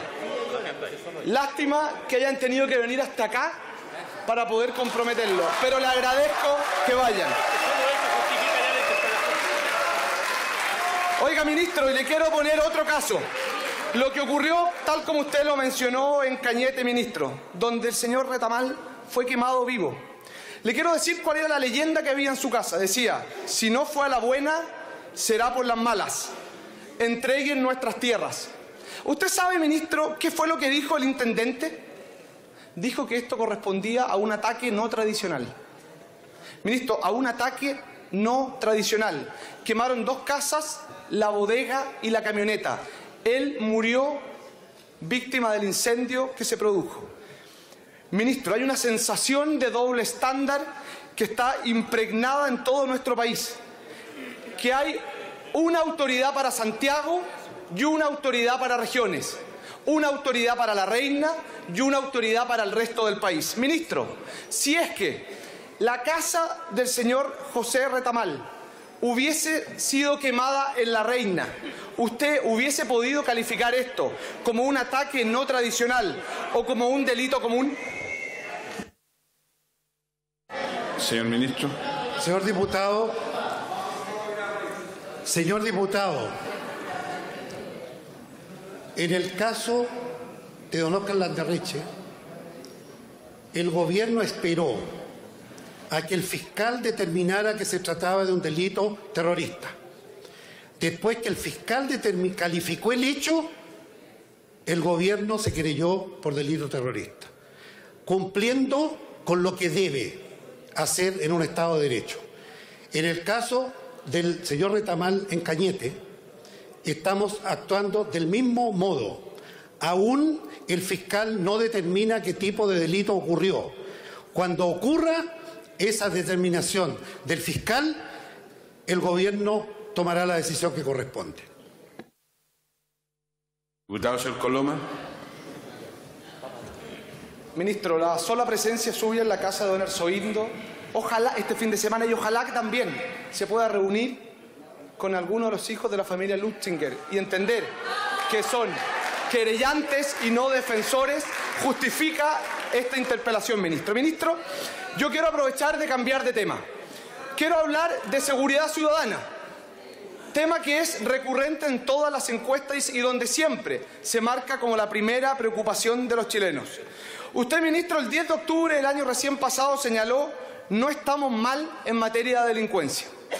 Me imagino que lo hacía para poder justificar el exiguo aumento de un 1% en los recursos para seguridad ciudadana. Ministro, según todas las encuestas, entre el 88 y el 93% de los chilenos califican forma deficiente el actuar del gobierno en esta materia. Según los datos de la ENUSC, que es por lejos la encuesta más reconocida por todos los sectores, se señala que en 14 de 15 regiones aumentó la victimización. Ministro, el exministro Peñailillo implementó el plan Seguridad para Todos, que tenía por objeto desarrollar estrategias en conjunto con los municipios. El año 2016 se aprobaron 26 mil millones. Este año, ministro, la mitad, 13 mil. Usted dijo que fue porque se habían construido ya parte importante de las obras. ¿Usted, ministro, cree que estamos tan bien en materia de delincuencia y seguridad ciudadana como para decir que porque se gastaron 13 mil millones la pega está hecha? ¿No se da cuenta, ministro, que la sensación de inseguridad, el temor y muchas veces la sensación de que el gobierno no está del lado de las víctimas se ha apoderado a la gente? Ministro, ¿no cree que se requiere invertir de verdad en seguridad ciudadana? Gracias, diputado. Señor ministro. Bien.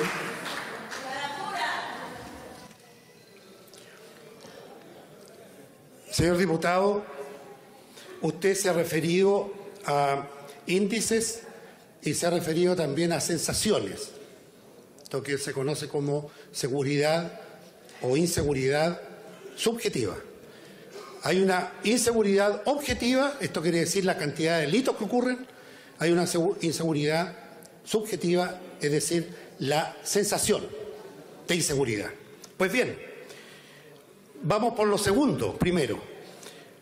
Paz Ciudadana, de cuya calidad, de cuya reputación nadie puede tener dudas. Bueno, Paz Ciudadana acaba de señalar que entre el año 2010 y el 2014 la victimización aumentó de 3,4 a 4,5. Y entre el 14 y el 16 la victimización disminuyó de 43% a 38%. Estamos hablando de una encuesta muy reputada y nadie podría decir que es de una orientación gobernista. O sea, la sensación ha disminuido, la victimización ha disminuido. Ahora, desde luego también han disminuido, ha disminuido la, inseguridad objetiva. Los delitos han disminuido. Pero esto no quiere decir, diputado, de que se pueda estar contento, feliz, porque ocurren muchos delitos, todos los días, en todas partes. Pero es un hecho de que durante los últimos años la delincuencia ha disminuido. Mire, yo le voy a dar dos datos. Le voy a, pero por favor, por favor, pero por favor, le voy a dar dos datos. Dos datos, mire. El 22 de, del 22 de, el 27 de diciembre pasado, el 27 de diciembre, en la ciudad de Chicago, apareció la siguiente noticia, que en la ciudad de Chicago se habían producido durante el año 2016 763 homicidios, 763 homicidios en Chicago. Pues bien, en la región metropolitana de Chile, toda la región metropolitana, no solo Santiago, el año 16 hubo 197 homicidios. De 763 en una ciudad con tres veces menos habitantes que la región metropolitana, se produjeron 763. Estamos hablando de Estados Unidos, con toda la capacidad tecnológica que se tiene para discutir, para, para combatir la violencia, con todo el aparato policial de que se dispone. Estoy, haci- estoy aquí hablando de números gruesos y de números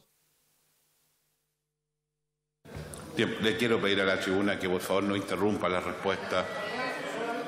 ¿No? Les pido por favor, porque si no nos escuchamos y si no nos escuchamos no nos entendemos. Diputado señor Coloma. Bueno, pero, pero hay que hable cuando no esté hablando el ministro. Diputado señor Coloma, sigue.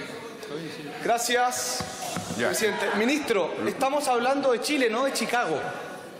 ¿Y sabe por qué estamos hablando de Chile? Porque todas las encuestas revelan que la principal preocupación de los chilenos es la seguridad ciudadana.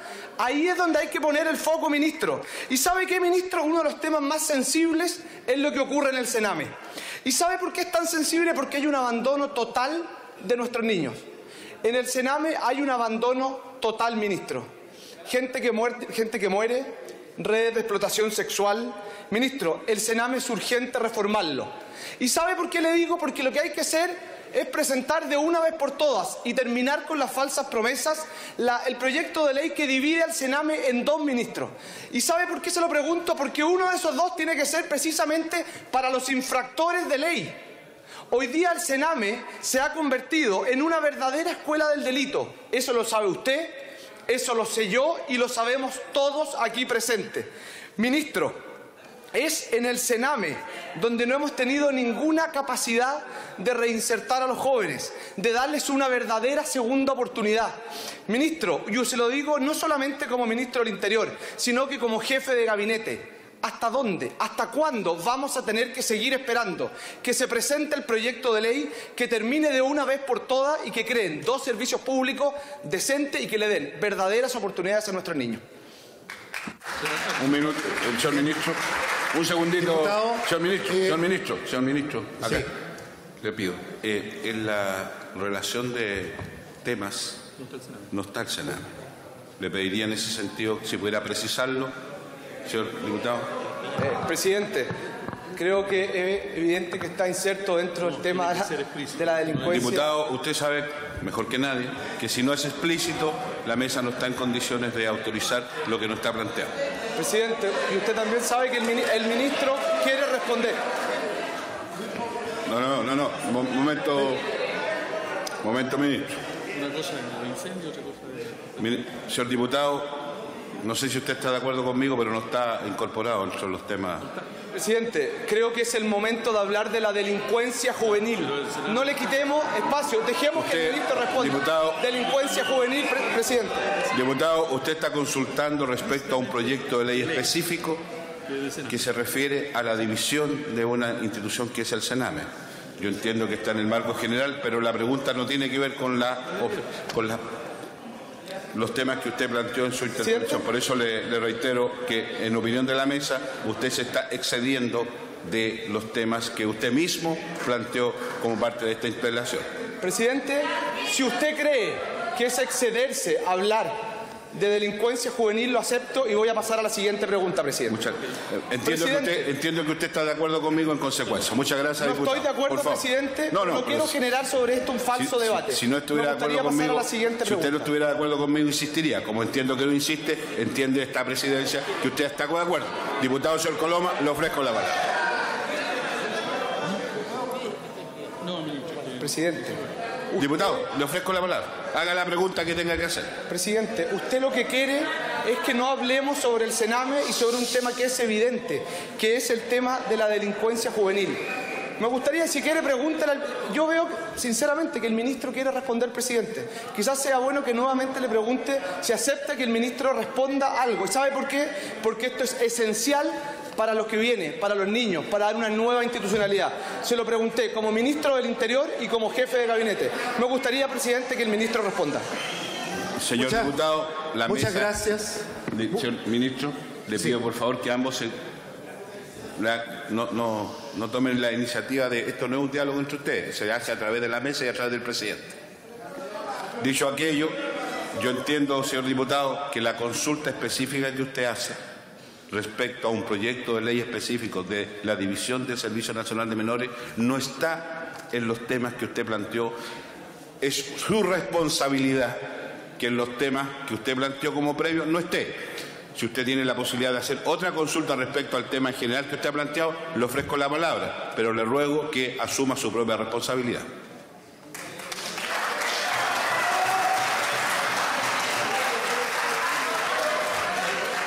Diputado Coloma tiene la palabra. Ministro, yo siento, perdón, presidente, eh, yo siento que el tema del Sename no va para más. Pero voy a cambiar de tema, ministro. Muchas gracias.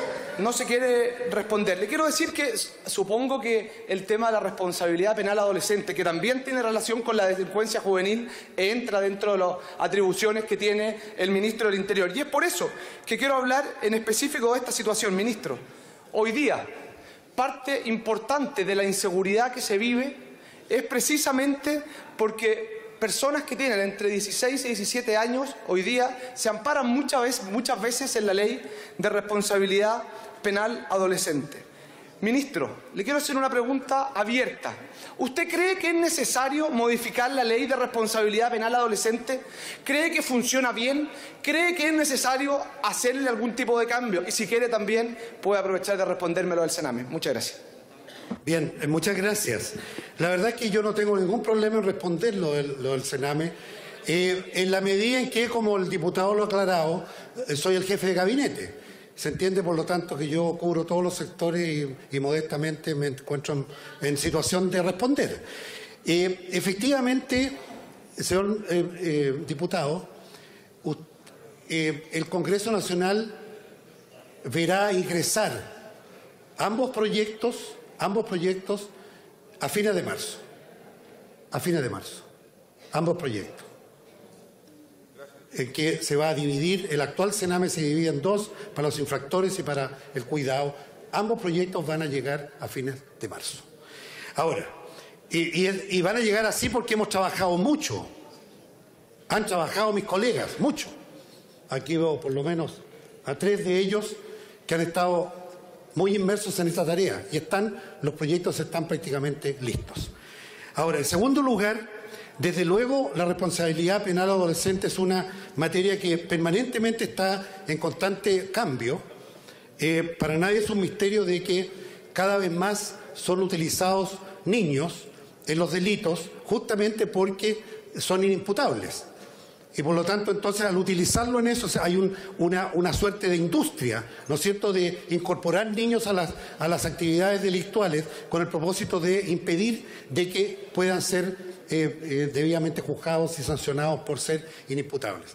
Ahora bien, pero ese, ese hecho no nos debe nublar la vista también a que los jóvenes y los niños deben, deben, deben ser objetos de una política eh, preventiva. Eso tiene que ver con la educación especialmente, con la educación. La, delincuencia infantil o juvenil temprana está asociada a la decepción estudiantil. Está asociada a la decepción estudiantil. Hay ahí un vaso comunicante directamente vinculado y eso en toda sociedad es observable. Por lo tanto, la política preventiva que debe realizarse en ese plano es tratar por todos los medios en el, ámbito estudiantil impedir la deserción y controlar la, deserción. O sea, vigilar de que si hay niños que están abandonando el colegio, pueda actuar el Estado para recuperarlos.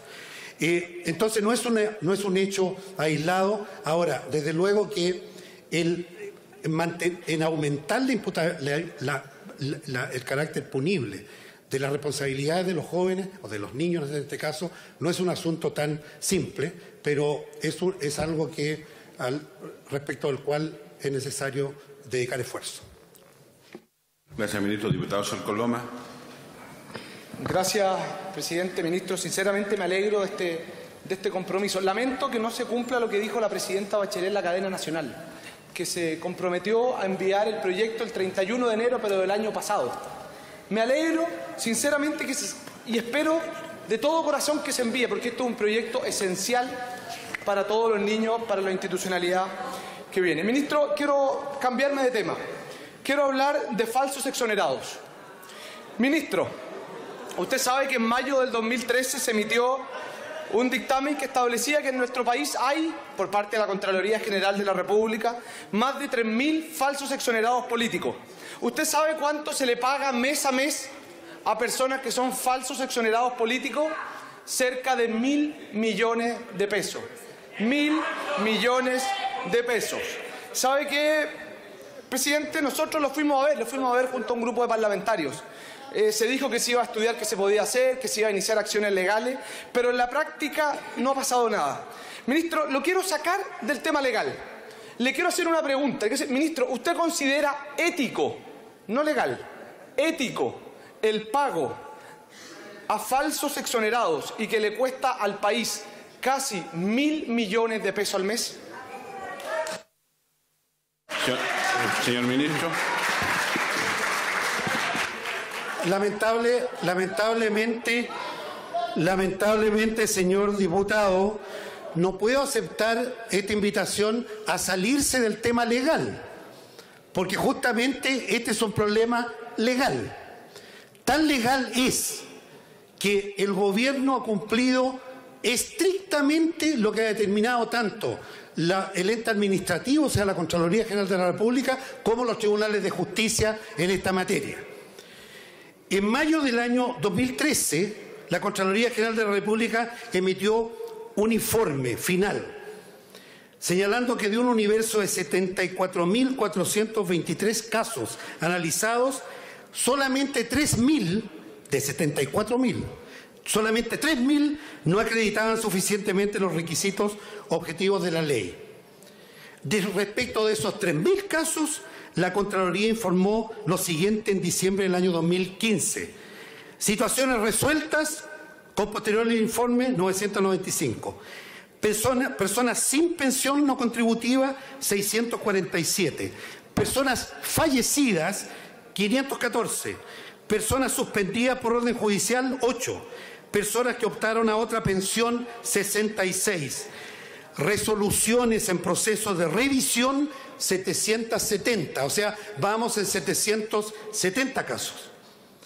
Entonces, la Contraloría ordenó mediante oficio de febrero del 16 la revisión de estos 700 casos.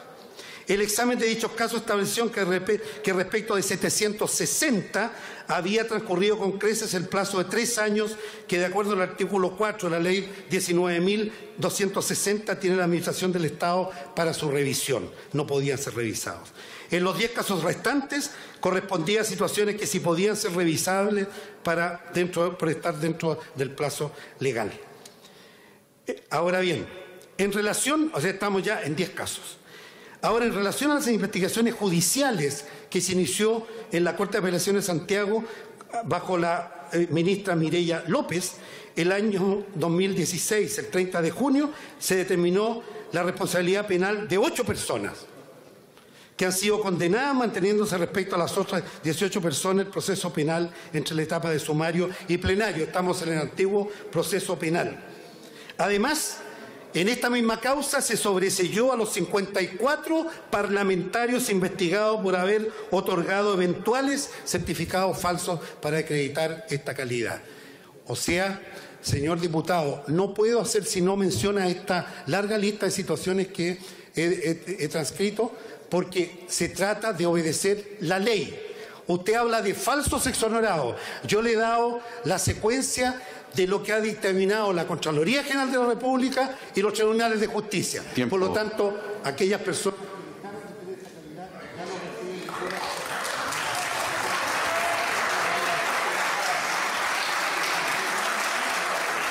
Diputado, señor Coloma. Ministro, le pregunto por los falsos exonerados por lo siguiente. El día 20 de enero de este año, o sea, el viernes, me llegó un oficio de la Contraloría donde dice que desde que se inició el periodo de la presidenta Bachelet se han entregado 830 eh, calificaciones de exonerados políticos. Ministro, yo le quiero preguntar solo una cosa. Si usted está en condiciones de asegurar que aquí no hay ningún nuevo falso exonerado, han sido documentos que se han entregado durante el mandato de la presidenta Bachelet. Y si es así, le pregunto si está disponible para enviar este documento a una auditoría para que se analice a fondo si estamos nuevamente entregando miles de millones de pesos a falsos exonerados políticos. Señor ministro, por favor mantenga silencio. Señor ministro. Señor diputado, señor diputado, tomando sus propias palabras y algunas de sus preguntas en esta interpelación, eh, vivimos en un Estado de Derecho. Por lo tanto, no son necesarias auditorías externas para poner, para poner en duda lo que los órganos del Estado han resuelto. El gobierno, el gobierno el gobierno se ha ajustado a lo que ha determinado la Contraloría General de la República y los, y los tribunales de justicia. Ahora, si corresponde iniciar algún sumario o alguna investigación sumaria a raíz de eventuales anomalías que pudiesen haber ocurrido en el Ministerio del Interior para otorgar eh, pensiones a exonerados que no lo merecían, por parte de la Contraloría, desde luego la Contraloría no solo lo debe hacer, sino que lo tiene que hacer. Lo tiene que hacer. Y por lo tanto, obviamente, estamos nosotros sujetos a que la Contraloría decida que es necesario una mayor investigación respecto de ese grupo pequeño de casos, que según esta secuencia están bajo dudas, digamos. Eso es. Cuidado, señor Coloma. Presidente, le quiero pedir una aclaración. Lo que yo le pregunté, ministro, es si está dispuesto a enviar hoy día esto a una auditoría. No esperar en análisis, no esperar sumario, no esperar que ocurra lo que ocurrió en los números que usted leyó, donde cerca de 700 personas se les, no se les pudo eh, revocar porque había prescrito. Ministro, enviémoslo hoy día a una auditoría a la Contraloría General de la República para que veamos si hay o no hay nuevos falsos exonerados. Ya nos ocurrió como país que se detectaron 3.000 falsos exonerados que le cuestan al país cerca de mil millones de pesos al mes. Ministro, le quiero preguntar y solicito la aclaración si es posible que el Ministerio del Interior envíe mañana una solicitud para auditar los 830 nuevos casos de exonerados políticos.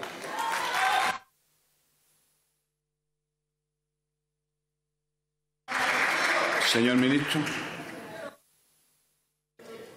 Señor diputado, señor diputado, gran parte del afán administrativo del ministerio que dirijo se dedica a responder comunicaciones de la Contraloría a partir de oficios, denuncias que se envían desde esta Cámara.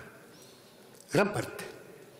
Permanentemente, y hay algunos diputados que se repiten mucho en este tipo de gestiones.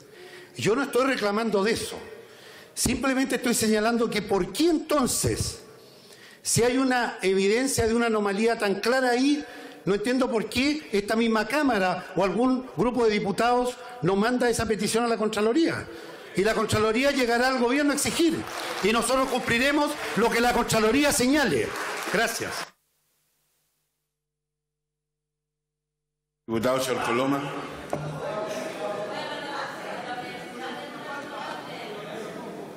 Ministro, lamento que no lo quiera enviar. Y solo le quiero decir que no tengo más preguntas. Que esta interpelación, ministro, ha servido para que usted vaya a la novena región, a la casa de don Arzoindo Bascur, para que vea la realidad que vive. Ha reconocido que existen actos terroristas, ha reconocido y ha fijado fecha para enviar en marzo, el, por fin, el proyecto de ley que modifica el Sename, que lo va a hacer desaparecer para siempre y va a crear una nueva institucionalidad que se comprometió con darle urgencia a la ley de la ONEMI, que este gobierno ha tenido tres años en el congelador. Todo esto lo hemos logrado en la interpelación. Muchas gracias, señor ministro.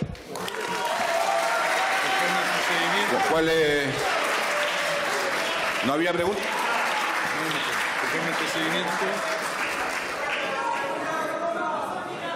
Muchas gracias, diputado Coloma. Le agradezco su colaboración y el respeto con que usted ha enfrentado esta interpelación. De verdad. Le agradezco también al equipo de asesores que lo ha acompañado. Dile las gracias a Melero, pues, a Melame y Melero. En el tiempo de las bancadas voy a ofrecerle la palabra al diputado. Muy bien. En el tiempo de las bancadas le voy a ofrecer la palabra al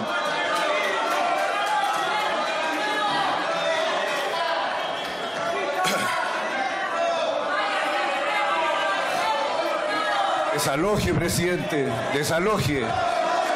Presidente, desaloje.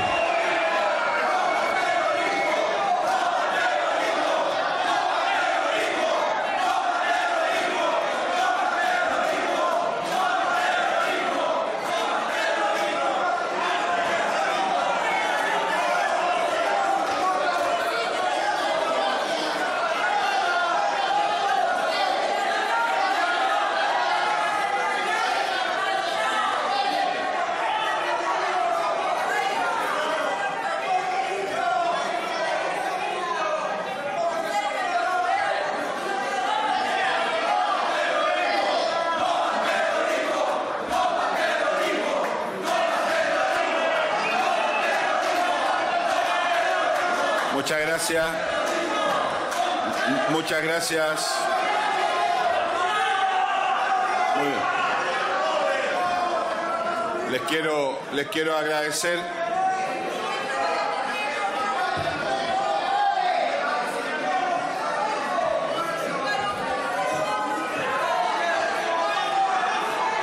Muy bien, les pido que se tomen, les pido que tomen asiento.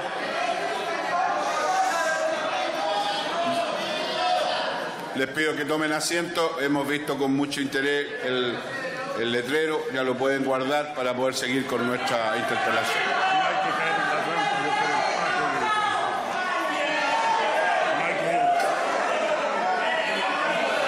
Muy bien.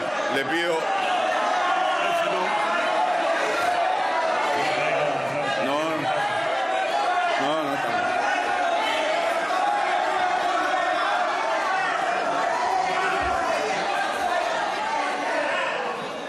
Muy bien. much- muy-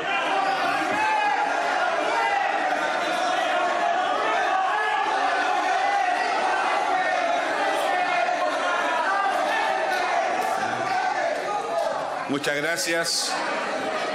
Muchas gracias. Les pido por favor que se asienten para poder seguir con la interpelación. Señora, señora. Quería, queremos, queremos terminar. Les pido por favor.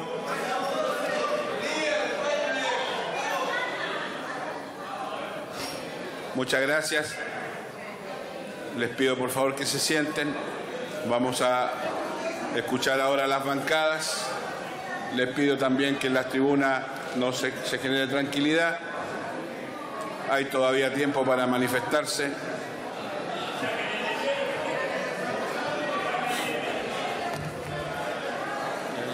Muy bien. En el tiempo les pido silencio, por favor. no quiero proceder al desalojo, que es lo que me empiezan a solicitar. No quiero hacerme parte, no quiero hacerme parte de una medida de esa naturaleza. En el tiempo de la bancada del Partido Demócrata Cristiano, le ofrezco la palabra al diputado, cinco minutos, hasta por cinco minutos al diputado señor Fuad Chain. Muchas gracias, presidente. La verdad es que me parece una enorme indolencia que estemos hoy día en esta interpelación y que Chile Vamos no haya querido retirarla y poder hacerla en marzo para que el ministro del Interior pudiera dedicarse efectivamente a las tareas de combatir el incendio. Presidente, curiosa interpelación la que hemos terminado de escuchar. El ministro, fuera del cuestionario, permitido ser consultado sobre la situación de los incendios forestales y el diputado interpelador ha dejado pasar la oportunidad de hacer un aporte constructivo y en su lugar ha generado un alegato vano y oportunista. Curiosa también la preocupación hoy día por la seguridad ciudadana, porque ha sido este gobierno el que ha sacado adelante la agenda corta antidelincuencia, mientras su gobierno, el gobierno de Sebastián Piñera, sacó a más de 7.000 presos de las cárceles con la ley de indulto general y la modificación de la ley 18.216, presidente. Curiosa la preocupación del diputado interpelador respecto de los niños, cuando hace menos de una semana en esta misma sala el diputado se abstuvo de la ley que condenaba y aumentaba las penas al maltrato a los menores. Presidente, en relación a la Araucanía, el diputado Portalagante interpela al ministro del Interior de un gobierno que está empeñado en cambiar la forma, la aproximación, la sensibilidad y una estrategia hasta ahora errada y fracasada para enfrentar los graves problemas de nuestra región. Hasta antes del actual gobierno, el Estado en general ha seguido la lógica del diputado interpelador. Mirar solo la superficie, los síntomas, los efectos, dolorosos y repudiables, por cierto, pero no las causas de la injusticia, el dolor y la violencia. La situación que afecta a nuestra región procede de un hecho histórico, cuál es la instalación del Estado chileno en ese territorio a sangre y fuego hacia fines del siglo XIX, generando el despojo de los mapuches que habitaban previamente ese territorio. En consecuencia, este es un tema de Estado que cruza a todos los gobiernos y el conflicto es un hecho grave que ha tenido víctimas inocentes y debe motivar la preocupación de toda la región y de todo el país. Por lo mismo, debe tomarse con altura de miras si realmente queremos superarlo. El ministro ha respondido con claridad y firmeza. El compromiso del gobierno es buscar la paz social en la Araucanía. Y alcanzar esa paz social no es cuestión meramente policial, sino un proceso complejo que requiere más diálogo que enfrentamiento político de trinchera, más conocimiento profundo del problema que brobatas superficiales. Y por cierto, mucho coraje para asumir los errores históricos, no para quedarse anclados en el pasado, sino para enfrentar un proceso de diálogo que permita resolver con éxito los desafíos del presente, tal como lo ha hecho la Comisión Asesora Presidencial encabezada por el obispo Vargas en su informe. Presidente, el cuestionario del interpelador ha permitido al ministro mostrar el auténtico compromiso del Gobierno con la Araucanía, con un plan especial para la región, con proyectos de ley como el de los consejos de pueblos o el del Ministerio de Pueblos Indígenas, ambos comprometidos en el gobierno de Sebastián Piñera que nunca entraron a tramitación en este Congreso, presidente. Además, por primera vez este año contaremos con un programa de apoyo a las víctimas de la violencia rural. Sabemos que el camino es largo y complejo y probablemente los resultados no se verán en lo inmediato, pero estamos seguros, presidente, que transitar hacia una política de Estado sobre la base de la verdad histórica, el auténtico profundo reconocimiento, la verdadera participación, que por cierto debe contemplar participación y representación política garantizada en este Congreso Nacional para los pueblos originarios y un real desarrollo humano eh, pertinente y sustentable son el único camino hacia la paz social, esa que deseamos todos esa paz que permita a todos sin exclusión vivir tranquilos y sentirse parte de una misma región que tiene la multiculturalidad una de sus principales riquezas. Los errores cometidos en el pasado no son patrimonio exclusivo de unos o de otros en este hemiciclo. Por lo mismo, el deber político y ético de cambiar la mirada para cambiar el resultado debemos asumirlo en conjunto. Por su intermedio, presidente, quiero decirle al señor ministro que cuenta con todo el apoyo de nosotros, los demócratas cristianos, para seguir trabajando con altura de miras por Chile y por la región de la Araucanía. He dicho, presidente. Gracias, diputado. En el tiempo de renovación nacional y hasta por cinco minutos le ofrezco la palabra al diputado señor Becker. Gracias, presidente. Hola, buenas pesado. La verdad que lamentamos que se haya desarrollado esta sesión hoy día. Nosotros propusimos como Chile Vamos que la postergáramos, sin embargo hubo comités de la nueva mayoría que así no lo quisieron. En general, señor presidente, no se logra mucho con estas interpelaciones, pero la verdad es que en esta interpelación yo quedé bastante satisfecho. Creo que el hecho de que el ministro vaya a visitar a Arzobindo Bascur, a Ercilla, me parece ya un logro, y la verdad es que la fuerza con la que el mismo ministro ha dicho que en la Araucanía hay terrorismo, lo valoro grandemente. Obviamente esto se contradice con la falta de convicción que ha manifestado este gobierno con la prevención y la persecución de los hechos de violencia. Hay muchas acciones que así lo confirman. La forma casi anónima con que se promulgó la Agenda Corta Antidelincuencia, la demora en la tramitación de las modificaciones a la ley antiterrorista y la reticencia de la presidencia de esta corporación para discutir en sala una moción nuestra que potencia las facultades investigativas en delitos terroristas, demuestran las contradicciones internas de la coalición de gobierno al abordar los temas de seguridad pública. Asimismo, ya fuera de la sede legislativa, vemos como el propio gobierno sistemáticamente se encargó de socavar las herramientas legales desestimando a priori la aplicación de la ley antiterrorista o lo que es peor, retirando esa calificación a querellas que estaban en trámite. Por lo que hemos visto en las últimas semanas es aún más grave. Un abogado del Ministerio del Interior alegando en favor de la solicitud de una persona imputada por delitos terroristas que significaron la vida de una pareja de agricultores de la Araucanía. Ello no solo demostró el peso del Partido Comunista al interior de la coalición, sino que desautorizó la labor de la Fiscalía, que hace una tarea en condiciones de amenaza permanente con el único fin de condenar a quienes, según su convicción, tienen participación criminal en los hechos. Ahora, no contentos con lo anterior, parlamentarios de gobierno dejan de lado sus labores legislativas y van más que apoyar a la imputada a ejercer una presión indebida y alejada del marco democrático en miembros de la Judicatura.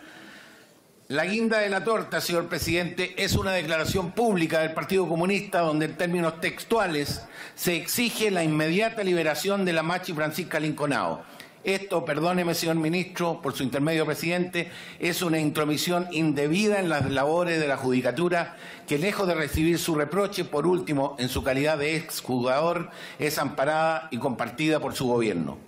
Por eso, no es coincidencia tenerlo acá, ministro. Su pasividad y condescendencia con las posturas extremistas de su coalición tienen a la región al borde del al retorno de la fórmula de justicia privada. Entonces, ¿es legítimo plantear la ausencia de Estado de Derecho?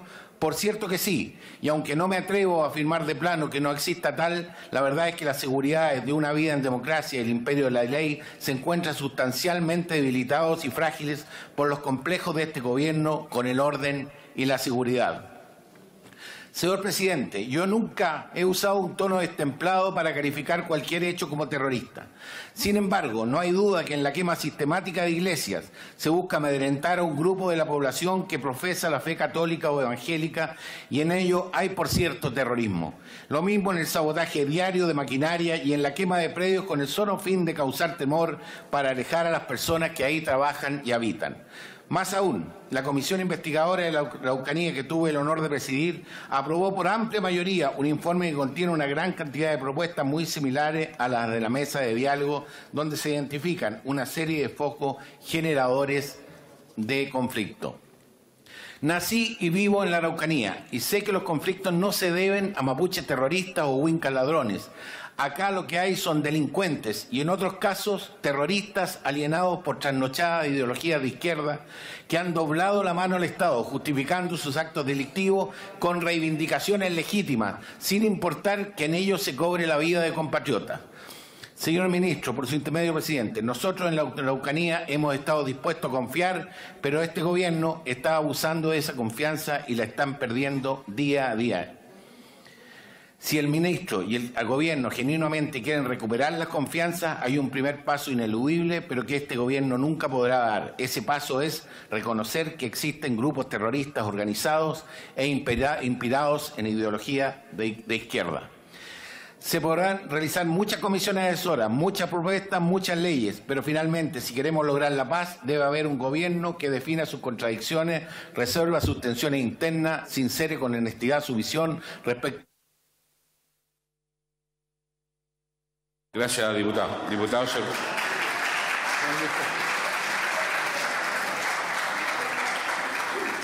En el tiempo del Partido Socialista, y hasta por cinco minutos, le ofrezco la palabra al diputado señor Castro. Gracias, presidente. La verdad, aquí la derecha ha dado un espectáculo deplorable, presidente. Los mismos, los mismos que ganaron el gobierno el 2010 con su candidato diciendo que se les había acabado la fiesta a los delincuentes, pretenden darnos lecciones ahora. ¿Cómo es posible, presidente?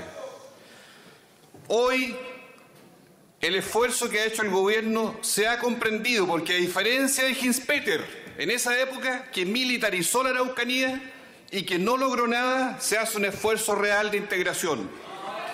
Hoy, cuando se intenta manipular políticamente los incendios y no se dice nada, por ejemplo, que en la sexta región la gran responsabilidad la tiene la Compañía General de Electricidad, que van a ser formalizados sus ejecutivos en los próximos días, porque ahí hay una negligencia culpable, nada se dice sobre los orígenes de por qué se producen las cosas. La gente no quiere ver un espectáculo triste como una interpelación tan débil. Mejor hubiera quedado para marzo, presidente, esta interpelación, por lo débil que ha sido, carente de fundamento. Y por eso nosotros queremos ser muy directos.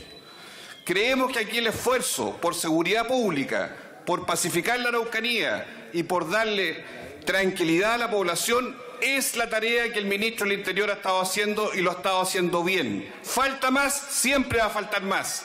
Pero esta interpelación no ha cumplido sino el rol de buscar lo que la gente rechaza, manipular políticamente el dolor de la ciudadanía. Por eso, presidente, nosotros respaldamos la gestión del ministro del Interior y el Partido Socialista no claudicará en mantener su esfuerzo de apoyo al gobierno, particularmente en mantener la paz y la tranquilidad ciudadana como se ha hecho hasta ahora. He dicho, presidente.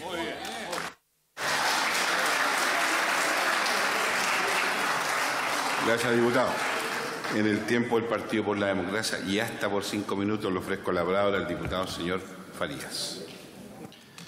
Muchas gracias, eh, señor presidente, señor ministro, ministros. La verdad es que hemos asistido a, a la inconsecuencia nuevamente de la derecha. Es increíble. Es increíble como hemos visto ya dos interpelaciones y siempre ocurre lo mismo. Inconsecuencia total y absoluta. Primero, interpelación a destiempo en donde nosotros y donde se solicitó que se hiciera esta interpelación en marzo. Y ellos no querían. No, porque decían que no, ¿cómo la vamos a hacer en marzo? Hagámoslo el viernes. Como si los incendios se fueran a acabar de aquí al viernes. Sabemos que el problema está y va a seguir igual toda la semana. ¿Por qué no lo dejaron para marzo? Porque querían hacer un punto político. Inconsecuencia, señor presidente, porque esta derecha que habla de terrorismo amparó durante 17 años, señor presidente, y no dijeron nada. Incluso algunos asesores del interpelador estuvieron ahí en Chacarilla apoyando al dictador que fue el mayor terrorista de todos inconsecuencia, porque esta derecha que habla del Senami de los niños, en la semana pasada se abstienen en masa, señor presidente, se abstienen en masa una ley que iba en protección de los niños y de las mujeres. Y lo hicieron y desmiéntame si no es así. Inconsecuencia, señor presidente, porque el nivel de la interpelación es demasiado bajo. es demasiado bajo. Es tan bajo, señor presidente, que en vez de contribuir en una sola frase a tratar de solucionar el problema, ni una sola palabra sale del interpelador para intentar ver cómo podemos solucionar el problema grave que hoy día tenemos en la Araucanía, que nadie desconoce. Nadie desconoce que tenemos problemas en la Araucanía. El ministro no lo ha desconocido. El ministro ha sido enfrentado. La presidenta también lo ha enfrentado. Pero la derecha, ciega, sorda y muda, no, muda no, perdón, porque hablan hasta por los codos, ciega y sorda, no quiere escuchar, no quiere avanzar, porque les interesa solamente hacer un punto político. Les interesa solo hacer que los diputados vengamos hoy día acá y que varios de nuestros colegas deberían estar allá en los incendios, pero están acá asistiendo a esta interpelación, siendo que podríamos leche en marzo sin ningún problema. Tenemos un problema en la Araucanía, eso lo sabemos, y tenemos que avanzar en la solución.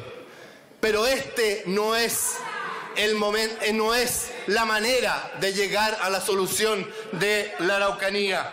De esta manera no se llega a la solución, estimado diputado Coloma, por su intermedio, señor presidente. Esto es solamente un show, un show para la televisión, un show para los medios. Y desgraciadamente muchas personas son manipuladas para asistir a este show. Nosotros queremos aportar, señor presidente, queremos aportar a esta solución. Queremos estar con el ministro y queremos apoyar a la gente de la Araucanía, pero de verdad, de verdad, señor presidente. Es por eso, señor presidente, que nosotros prestamos todo nuestro apoyo al gobierno, a todas las fuerzas que estén acordes a poder solucionar el problema, vamos a estar ahí, en primera fila, apoyando a nuestro gobierno, apoyando las acciones que hay que hacer para solucionar el problema, no para este tipo de shows mediáticos que no conducen absolutamente a nada más que a un par de titulares en los diarios un par de días, pero que en definitiva la solución de fondo no llega, no puede llegar. Tenemos que hacer que el ministro siga trabajando, tenemos que hacer que el gobierno siga trabajando para solucionar los problemas graves que tenemos allá, para que se acabe la delincuencia, para que se acaben los ataques hacia las personas que viven en la Araucanía. Queremos que se acaben esos ataques, queremos que todos esos delincuentes estén presos. Sí, señor, yo quiero que estén presos. Yo quiero que estén presos y todos queremos que estén presos, pero para eso tiene que trabajar nuestro gobierno, tranquilo y trabajar silente para que podamos finalmente llegar a una solución. He dicho, señor presidente, gracias.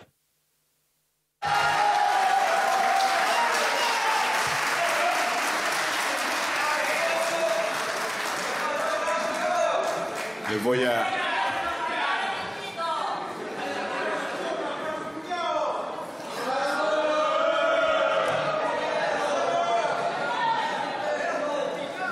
Voy a...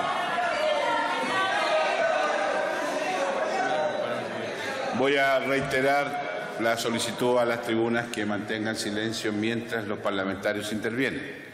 La mesa tiene la obligación legal, formal y reglamentaria de evitar cualquier formato que impida que un parlamentario pueda expresar libremente su opinión esto no es un obstáculo para que al término de la intervención puedan manifestar su adhesión o reproche a la intervención que han conocido, pero les pido por favor que mientras estén interviniendo mantengamos riguroso silencio.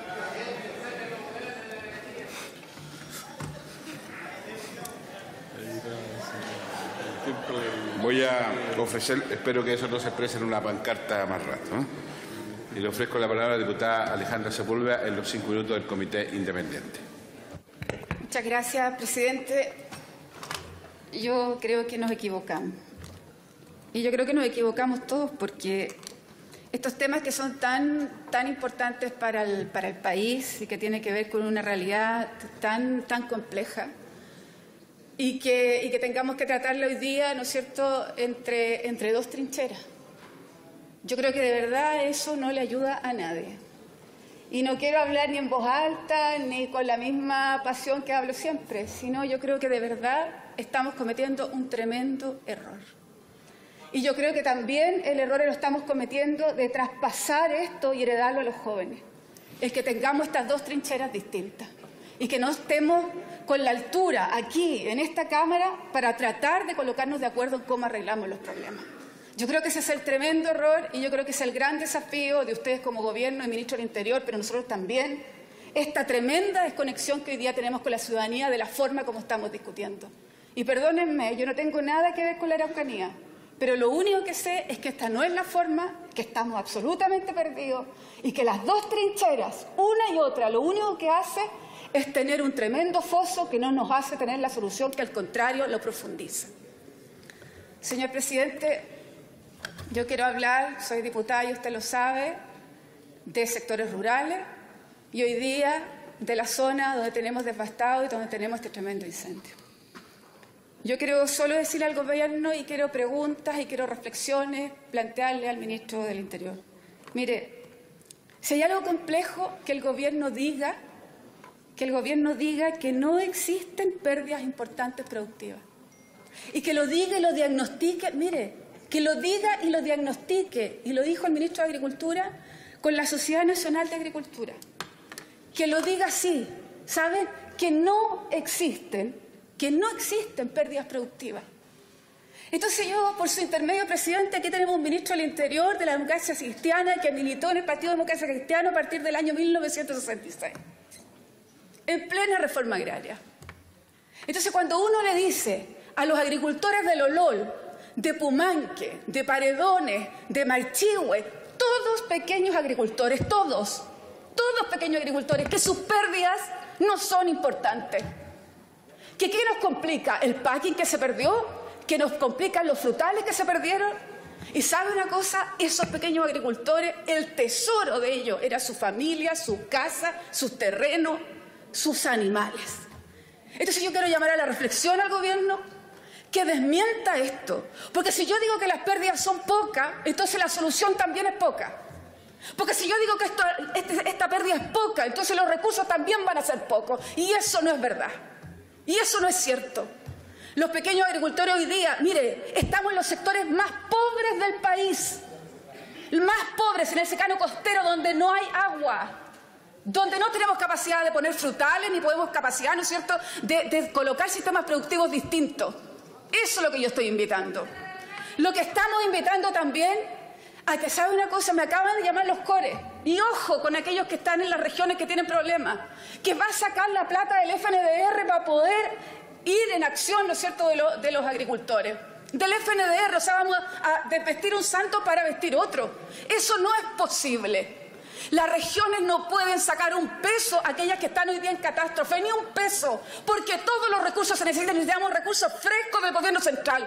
De ahí necesitamos los recursos, no de otra parte. No nos saquen ni un peso porque eso es lo que necesitamos hoy día para defender a los pequeños agricultores que están hoy día muy complicados. Y presidente, yo quiero preguntar y me quedan un minuto. ¿Sabe? La CONAF pública ya no resiste más. Es ahora o ahora la CONAF pública. Urgente, urgente. Yo me pregunto, son 3 mil millones, 3 mil millones que no hemos sido capaces de hacer para tener de verdad una CONAF que se pare, ¿no es cierto?, entre los incendios y entre los agricultores. ¿Hasta cuándo no vamos a colocar urgencia a la ley de incendios forestales, ministro? Eso es urgente. ¿Hasta cuándo no vamos a colocar urgencia a las áreas silvestres protegidas, ministro? Ese es el problema. Entonces, ¿sabe? Yo lo invito más allá de lo que está ocurriendo, pues la sensación que hay es que si hubiese sido Santiago, si hubiese sido Santiago, la mitad de Santiago quemado, esto se hubiese arreglado, pero la mitad de la sexta región y de la séptima quemada no tiene la misma importancia. Por eso, ministro, sabe, yo también lo invito a ir a la región.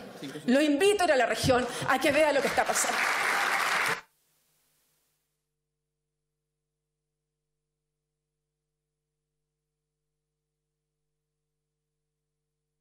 Gracias, diputada Sepúlveda. Ofrezco en el tiempo del Partido Radical y hasta por cinco minutos al diputado José Pérez. Gracias, presidente. Para nosotros los radicales siempre será bueno que exista esta posibilidad de interpelar a las autoridades de gobierno, a los ministros, para plantear inquietudes, para esclarecer ciertas situaciones, pero siempre la oposición tiene que hacerlo con los pies bien puestos sobre el suelo, sin ironía y sin faltar el respeto al interpelado. Eso es fundamental. En este país pequeño, que nos azota la naturaleza con tanta frecuencia, no, no hemos sido capaces de unirnos como hermanos para enfrentar los problemas. Los problemas que son del centro, de la derecha, de la izquierda, que son de los chilenos en general. Y por eso muchas veces no encontramos la solución adecuada. Se han planteado varios temas aquí, algunos que no corresponden. Yo quiero referirme a uno de ellos, señor presidente, estimado ministro. Se ha hablado de los exonerados. Los exonerados políticos son personas que perdieron su trabajo durante el régimen militar. Algunos tuvieron que salir arrancando del país y volver después de muchos años a tener la posibilidad de, de este beneficio que por ley les asiste, el beneficio de exonerado político. Otros predios importantes que se vendieron al sector privado, como la Hacienda Las Canteras, que tenía 1.500 trabajadores y todos a la calle, también tienen derecho, ¿no es cierto?, a esta pensión de exonerado. Y tantos otros miles de funcionarios públicos, muchos de los cuales, ministro, todavía hay cerca de 3.000 o 4.000 carpetas que se están estudiando y hay gente que ha muerto esperando este beneficio y no lo han recibido. No quiero, no quiero poner las manos al fuego. Es probable que hubieran pasado unos cuantos casos que no les corresponda, pero es la justicia la que tiene que determinar esto y no otra persona pero yo le pido en forma especial a usted, señor ministro, que agilicemos los trámites de esa gente que aún está esperando el beneficio que por ley les asiste. Y quiero que sepan los que están aquí presentes que para optar a este beneficio necesitan presentar un sinnúmero de antecedentes, finiquito, liquidaciones de sueldo, testigos presenciales o compañeros de trabajo, en muchos casos imposible de presentarlos porque aquel que fue despedido el año 73 o 74 no va a tener las colillas de sueldo guardadas en el bolsillo hasta después del año 90. De ahí entonces que además de todos estos, requisitos, la Contraloría, señores parlamentarios, toma razón en cada caso y aprueba o rechaza. Entonces el trámite no es tan simple, pero a mí me preocupa aquella gente que aún no recibe el beneficio. Y me alegro, por otro lado, que haya jóvenes aquí que tengan un letrero que dice no más terrorismo. Los radicales somos contrarios a todo tipo de terrorismo. Y yo quisiera que también recordemos lo que pasó entre los años 73 y 90 en el Estadio Nacional, en tantos lugares, en campos de concentración donde sacaban a la gente de sus casas y muchos de ellos nunca más volvían. Eso se llama terrorismo de Estado que lo rechazamos categóricamente. De tal manera que todo tipo, los radicales rechazamos todo tipo de terrorismo, venga de donde venga, porque el ser humano está por sobre todas las cosas. De ahí entonces que estamos de acuerdo, ministro, hay que avanzar. Tenemos que tener un clima a nivel nacional de paz, de tranquilidad, de seguridad y por eso rechazamos todo tipo de terrorismo mano firme, siga adelante, cuenta con nuestro respaldo, señor ministro. Gracias, he dicho, presidente. Gracias, diputado Pérez. En el tiempo, en los cinco minutos del Partido Comunista, le ofrezco la palabra al diputado señor Gutiérrez. Muchas gracias, presidente. Quien derecho ejerce a nadie ofende, dice un aforismo jurídico. Es decir, la derecha tiene derecho a la interpelación y nadie, y nadie está disponible a que ese derecho se le pueda menoscabar. Pero yo creo que sin duda cuando uno concurre a sala, uno espera que, esta interpelación no ofenda, que esta interpelación no sea mentirosa, porque en ese caso ya este derecho se vuelve abusivo. Y lo quiero poner en tres casos. Cuando se le emplaza a usted con respecto al proyecto ONEMI, culpando prácticamente a este gobierno de que por esta negligencia en diligenciar este proyecto, hoy no tenemos una ONEMI que combata como corresponde los incendios que hoy acontecen en nuestro país. Quiero decirle, ministro, que hay un senador que cuando se discutió hace unos días atrás este proyecto en el Senado dijo lo siguiente. Señaló que el proyecto que crea el nuevo Sistema Nacional de Emergencia, comilla, adolece de serios problemas, entre ellos los relativos al financiamiento y entrega de recursos en caso de catástrofes, y pidió un nuevo proyecto. Este senador es Waldo Procuriza. Es un. Ese Waldo, Waldo es de derecha, ¿no? Es de- por lo que sé, es de derecha. Él estaba pidiendo, presidente, que ese proyecto usted lo retire. Que es mal proyecto. Un proyecto que presentó la derecha. Entonces, cuando se lo viene a exigir, lo emplazan a usted a que presente, ese, a que le dé urgencia, la misma derecha está pidiendo en el Senado que lo retiren. El 11 de mayo de 2016, este proyecto se votó en el Senado. Eh, presidente, por su intermedio ministro, y le quiero comentar lo que pasó. La UDI no votó. RN lo votó en contra. Este proyecto, presidente, por su intermedio, señor ministro, para que tenga conocimiento, se despachó por la Cámara de Diputados el 13 de marzo de 2013. 13 de marzo de 2013. Se le ha puesto urgencia por parte de nuestro gobierno en 10 oportunidades. ¿Y sabe quién lo ha votado en contra también este proyecto? Un senador. ¿Y sabe qué, cuál es la curiosidad? Adivine quién es. El padre del interpelador.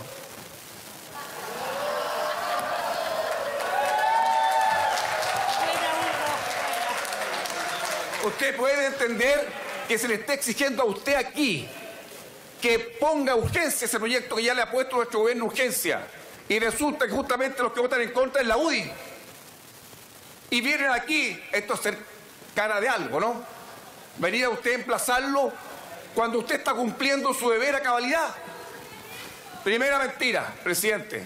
Segunda, que quiero explicarle. Porque hemos sido, he sido- hemos sido emplazados, dice un abogado del Ministerio del Interior, alegando en favor del imputado de, de un delito terrorista. Ministro, por su intermedio, presidente, eso es una mentira. Lo que el Ministerio del Interior concurrió a un recurso de amparo y se sentó a favor del amparo porque tenía que cumplir con una diligencia, que era efectivamente que la Machi estuviese en arresto domiciliario porque eso es lo que correspondía, de acuerdo a una norma constitucional. Si usted no cumplía con esa norma constitucional, iba a ser condenado, como lo fueron condenados, como fue condenado Chile en el caso de Aniceto Norín y Pascual Pichún. Usted lo que ha evitado es la condena al Estado de Chile, justamente por no cumplir los tratados internacionales de derechos humanos que obligan al Estado de Chile. Lo que ha hecho el Ministerio del Interior es tal cabal cumplimiento a las normas internacionales de derechos humanos. Por eso es el agradecimiento de nosotros hacia usted, por su intermedio presidente, porque usted está cumpliendo a cabalidad lo que le ordena el Estado de Derecho y por eso se lo agradecemos. Gracias, presidente. Muchas gracias. Y faltó más tiempo. En los cinco minutos del- que correspondan a la UDI, le ofrezco la palabra al diputado señor Asbun. Gracias, presidente. Alan Cooper, René Urban, la familia Luxinger Macay, Juan de Dios Fuente. Está aquí también, en este caso, un Arcindo Ascuri y su señora Rosenda, que no me cae ninguna duda que, señor ministro, cuando usted vaya a su casa lo van a recibir con las manos abiertas y con un, un corazón muy generoso. Pero el problema, que no me cae ninguna duda, que sus propios carabineros, que son vinculados directamente a su protección, no lo van a dejar quedarse afuera porque permanentemente le están disparando cuando salen de su casa. Y eso me consta porque me tocó vivirlo. La señora Dina Reyes, la señora Gladys Morales, que me imagino que tampoco la conoce, una señora inválida, que le quemaron su casa, ella estando adentro. Ella falleció el año pasado y lamentablemente su parcela sigue tomada y el gobierno nunca le dio respuesta. La CONADI jamás fue capaz de comprarle una parcela de 10 hectáreas. Don Osvaldo Antilef, padre del joven asesinado en un restaurante en Vilcún, donde fue el aparataje del gobierno a solidarizar con él, pero nunca le dieron ningún tipo de apoyo. La señora Carmen Roa, esposa del parcelero asesinado frente a su hijo pequeño, donde tampoco el gobierno le ha hecho ni jamás le ha dado un respaldo como se le ha dado a la Machi Fracinca Linconao. Lamentablemente, hoy nos enteramos que otorgaron arresto domiciliario a uno de los, eh, una de las personas vinculadas al asesinato de los Luxinger Macay, a José Sergio Tralcal. Y sin embargo, ¿dónde estaba el abogado del Ministerio del Interior? Nadie sabe, porque no fue. Lamentablemente, no ha tocado ver otros casos como la señora Blanca Gallardo, una señora de 74 años que trabajaba como asesora del hogar, del hogar, volvió a su parcela y construyó una casita que se la quemaron. Hoy vive en una pieza en Victoria y el gobierno no ha hecho absolutamente nada por ella. Cuando nosotros hemos hablado de la interpelación es porque queremos de una vez por todas que el gobierno se humanice, que entienda de que aquí no solo existen derechos de algunos por sobre los de otros, y que la desafortunada palabra suya, señor ministro, cuando dice que la prioridad y que primero está el pueblo mapuche, discúlpeme, la prioridad debiera ser el pueblo de Chile, mapuches y chilenos, no un pueblo, porque eso se llama abiertamente discriminar a la gente, señor ministro. Se está discriminando. Y eso es lo que ha hecho su gobierno, discriminar a unos por sobre otros. Aquí existe igualdad ante la ley, pero en la práctica solamente se están protegiendo a quienes ejercen la violencia como un mecanismo legítimo para poder protestar. Usted habla de la comisión, pero lamentablemente la comisión no propuso absolutamente nada distinto a lo que ya se ha pedido. La comisión resultó ser nuevamente un show pirotécnico para sacar un provecho político, porque no se habló nada distinto de lo que ya se ha hecho, nada distinto a lo que se han planteado. El intendente visita a una persona formalizada por delitos terroristas y posterior a eso rebaja las medidas cautelares, interviniendo directamente en otro poder del Estado, marcando un, un precedente con dimensiones impensadas, porque eso nunca había ocurrido en Chile. Ministro, usted reconoce la existencia de terrorismo y no toma ningún tipo de medida. Sin embargo, su gobierno lo niega. ¿Quién dice la verdad? ¿Usted o su gobierno? Porque escuchamos a usted hoy día decir que sí existe terrorismo, pero la presidenta Bachelet lo niega. Escuchamos hablar a usted de terrorismo y su intendente dice que no existe terrorismo en la novena región. Y lo han dicho los tres intendentes que están. Usted habla de que hay que respetar el Estado de Derecho. Lamentablemente, cuando se habla de derecho y hablamos tanto de derecho, respetar el derecho ajeno es la mejor manera de alcanzar la paz. Y eso se logra cuando somos capaces de reconocer que todos tenemos los mismos derechos y no existen ciudadanos de primera y segunda categoría. Por favor, cuando se habla que existen y que hay un problema con la existencia o que hay que tener más carabineros, efectivamente, ustedes han puesto más carabineros, pero no han hecho ningún proyecto de ley que termine con la violencia y se condena a los grupos terroristas que existen en la región. Y eso es porque no existe voluntad política y porque tienen y siempre han tenido vínculos históricos con estos grupos. Reglamento, presidente. Reglamento, presidente. El diputado Fun a esta sesión sobre terrorismo ha invitado a uno de los implicados en el asesinato del general Schneider e indultado por el general Pinochet. Se llama Alan Cooper.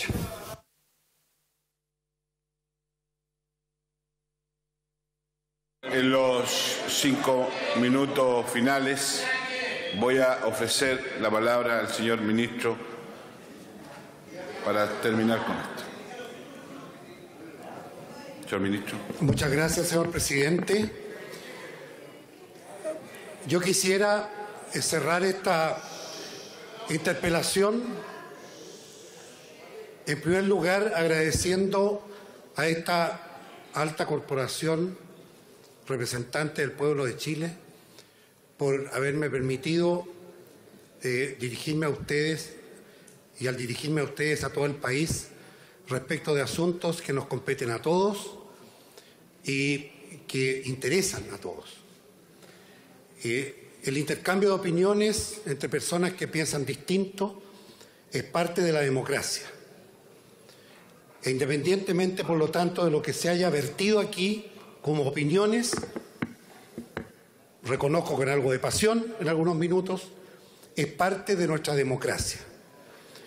Y por lo tanto, entonces, mi primer comentario es obtener una, un, beneficio de lo que aquí hemos vivido esta tarde en la Cámara de Diputados de Chile. En segundo lugar, eh, yo quiero reiterar mi personería.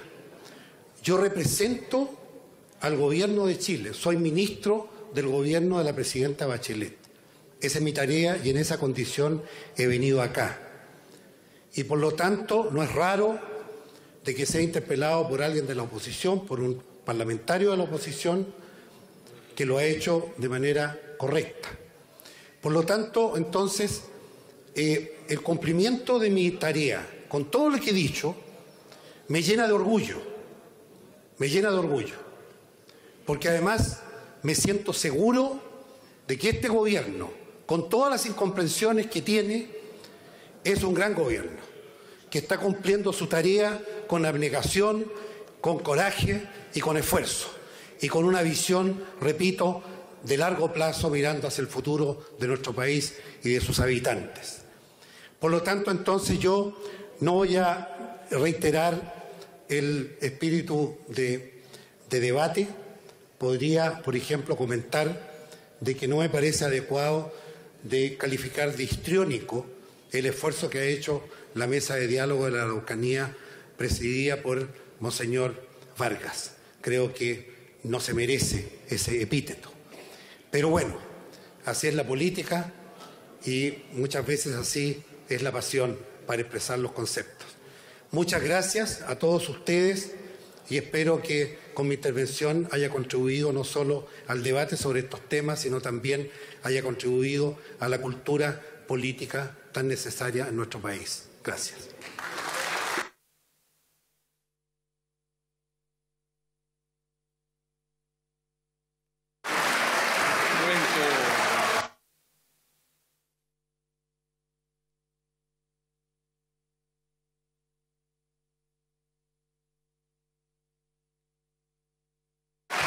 Pido tomar asiento.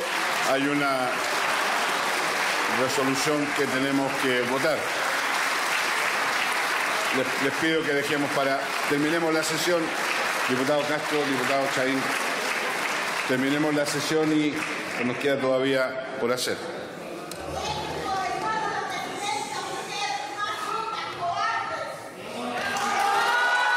Le voy a ofrecer la palabra al señor secretario de la corporación. Por favor, señora, señora, por favor. También. El, el, el,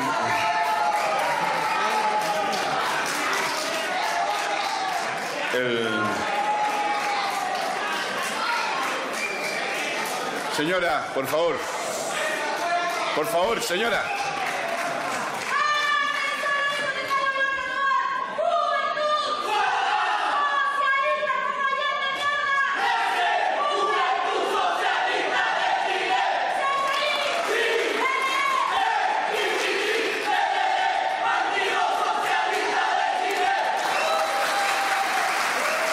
Les quiero, les quiero pedir a los señores parlamentarios que retomen su lugar en su respectivo asiento. La Juventud Demócrata Cristiana vino, presidente.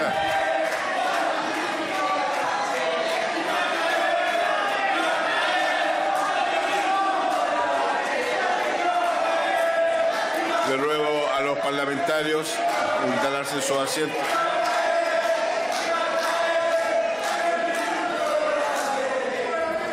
Muy bien, muy bien. Les pido a los parlamentarios, tenemos que votar una... Y como se vota en los pupitres, les ruego que se instalen en los pupitres correspondientes al frente, ojalá para no tener ninguna duda quién es la persona que vota. Le voy a ofrecer la palabra al señor secretario, que va a dar lectura a un proyecto de... No, a un oficio. Está bien. Está bien. Señor secretario, le ofrezco la palabra. El señor diputado don Juan Antonio Coloma, en el ejercicio de la facultad que le concede el artículo 327 bis del reglamento.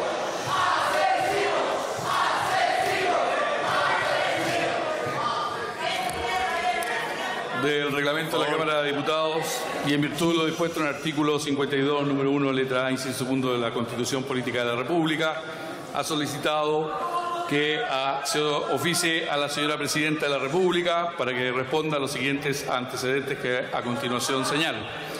Primero, ¿cuáles son las medidas económicas, legislativas e institucionales que se tomarán para ir en ayuda económica y social en las comunas afectadas por los incendios de los últimos días? Dos, ¿en qué consistirá el programa de reparación de víctimas por violencia en la Araucanía? Tres, ¿cómo se van a gastar los eh, 3 mil millones de pesos que el presupuesto de la Nación contempla para reparación de víctimas de violencia rural? ¿En qué plazos y con qué mecanismos se implementará la ejecución de este fondo? ¿Qué medidas se adoptarán en materia administrativa, legislativa y judiciales para restablecer el imperio del derecho en la Araucanía en relación a los actos terroristas? Quinto, ¿qué disposición tiene el Gobierno de crear una unidad especializada, una brigada dentro de Carabineros de Chile para investigar actos de terrorismo? Sexto, ¿cuáles son los recursos aprobados para el 2017 y las comunas priorizadas para el programa Plan Seguridad para Todos? Séptimo, ¿qué medidas legislativas se tomarán para modernizar la ONEMI?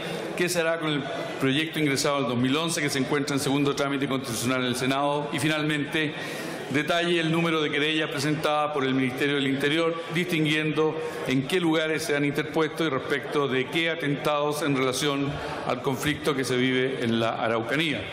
Recuerdo a la honorable Cámara que, en virtud de lo dispuesto en la disposición constitucional citada, la aprobación de este oficio requiere eh, un tercio de los diputados en ejercicio.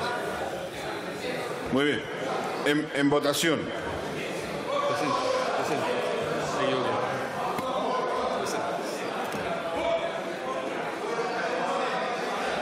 Han votado todas las diputadas y todos los diputados. Han votado todas y todos. Muy bien. Resultado de la votación. Por la afirmativa, 37 votos, 51 en contra, 9 abstenciones. No habiéndose cumplido el quórum. obtenido el tercio Ha obtenido el tercio necesario, se declara aprobado. Muy bien, habiéndose cumplido el objeto de la sesión, esta se levanta, nos vemos mañana a la hora. Diversas materias incluyó el diputado Juan Antonio Coloma, que ejerció el rol de interpelador al titular del Interior, Mario Fernández. Entre ellas, y a pesar de que no estaba previsto, las interrogantes comenzaron con la seguidilla de incendios forestales que han asolado al país. También se profundizó en seguridad ciudadana, el conflicto en la Araucanía y los casos de falsos exonerados políticos. Creo que la interpelación cumplió su objetivo. En primer lugar, por fin, el minis- el ministro del Interior va a ir a visitar a las víctimas de la Araucanía. Por fin va a poder hacerlo. Y creo que es importante reconocerlo, que vaya, que se empape de lo que ocurre en el sector de Coyipulli, en Ercilla, en la provincia de Mayeco. Es un tremendo logro de la interpelación. Nosotros buscamos la respuesta. Los problemas políticos aquí no tienen nada que ver. Aquí nosotros queríamos respuestas para el Sename, respuestas para la familia Bascur. Y de- destacar una cosa también. Aquí hubo un reconocimiento por parte del ministro del Interior de que en la novena región, en algunos actos, hay terrorismo. Eso también hay que señalarlo.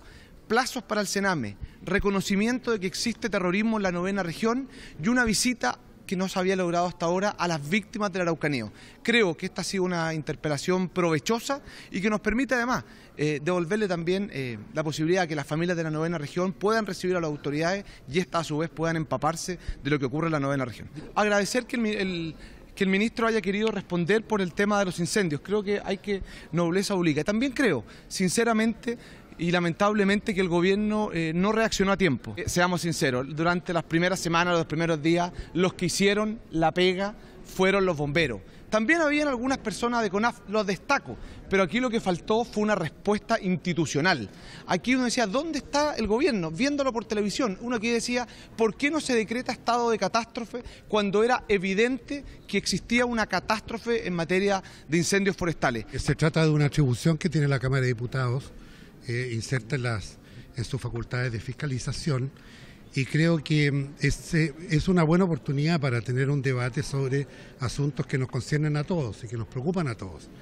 Eh, como ustedes vieron, no solo hablamos de la Araucanía como originalmente estaba programada esta interpelación, sino también eh, hubo oportunidad de referirse a los incendios que nos afectan en siete regiones del país. Así que yo dejo, tengo un buen balance de lo que ocurrió hoy día acá en la Cámara. La tarea de, un ministro del Interior eh, inevitablemente está sujeta a vaivenes, porque las tareas que, que nos toca asumir son de distinta índole y tiene altos y bajos. Entonces, por lo tanto, creo que el deber de quien ejerce este cargo es mantener siempre la serenidad y tratar de ver los temas desde arriba, eh, tener respeto por los contrincantes y tener paciencia también en momentos complejos como los que estamos viviendo. Hablar de que el Estado de Derecho está en peligro es algo muy serio. ¿ah? Desde luego, no es ningún misterio que en la Araucanía hay problemas muy graves. Eh, y, y desde luego también que el gobierno desde mitad del año pasado eh, inició un esfuerzo muy profundo ahí que culminó en su primera fase hoy con la entrega del informe a la Presidenta de la República. Los jefes de bancada del oficialismo destacaron la solidez de las respuestas del ministro del Interior y no dudaron en calificar esta interpelación como una de las más débiles del último tiempo. Este no es un blindaje producto de una figura, porque el ministro partió en silencio, haciendo una tarea muchas veces anónima o poco figurativa, pero en la práctica ha logrado liderar el Ministerio del Interior y el Gabinete. Y hoy ha demostrado con documentos, con fuerte evidencia que entregó incluso formalmente a la Secretaría de la Cámara, que toda la tarea del Ministerio del Interior es fructífera. Que falta sí, pero por favor, no pretendamos demoler o destruir la acción del gobierno en materia de seguridad solo por esta escaramuza político-comunicacional Aquí no basta militarizar la Araucanía o solo tratar con paliativos lo que ocurre en los incendios de la sexta y séptima región cuando hay una empresa eléctrica responsable, según la Fiscalía, de gran parte de los hechos que ahí están ocurriendo. El ministro, en todo caso, ha estado muy sólido eh, respondiendo cuál es la mirada que tiene el gobierno para poder enfrentar los problemas que se viven, por ejemplo, en la región de la Araucanía, respaldando el esfuerzo de diálogo, de reencuentro, de verdad que ha liderado el obispo Vargas, con políticas públicas concretas, con proyectos de ley en el Congreso, como el de Consejo de Pueblo, el de Ministerio de Pueblos Indígenas, y por primera vez con un programa especial para ir en ayuda de las víctimas de la violencia rural. Creo que el ministro ha dado cuenta de una mirada distinta que esperamos tenga resultados diferentes también en nuestra región. La mirada del odio, de la polarización, de la trinchera que ha tratado de imponer la derecha solo nos ha llevado a generar más violencia y agudizar un conflicto que vivimos en nuestra región, que sin duda es el conflicto más grave que hoy día está sufriendo el país. Hemos visto un ministro que fue muy sólido, que respondió a todas las consultas, no se dejó amilanar y se comprometió además a ir, a estar. No cayó en el juego eh, que la derecha estaba tratando de imponer, sino que más bien logró en definitiva, plasmar cuál es la visión, digamos, del gobierno. Yo he sido un detractor muchas veces del ministro, yo lo he criticado, pero creo que en esto el ministro fue absolutamente claro, certero, sus respuestas fueron certeras. Al término de la jornada se acordó oficiar al gobierno para que informe, entre otras materias, sobre las medidas que se adoptarán en ayuda de las comunas afectadas por los incendios, en qué consiste el programa y cómo se gastarán los 3 mil millones de pesos del Fondo de Reparación para Víctimas de Violencia de la Araucanía, si se creará en Carabineros una unidad especializada en terrorismo y sobre el número de querellas presentadas por el Ministerio del Interior, distinguiendo en qué lugares se han interpuesto y respecto de qué atentados referidos al conflicto en la región de la Araucanía.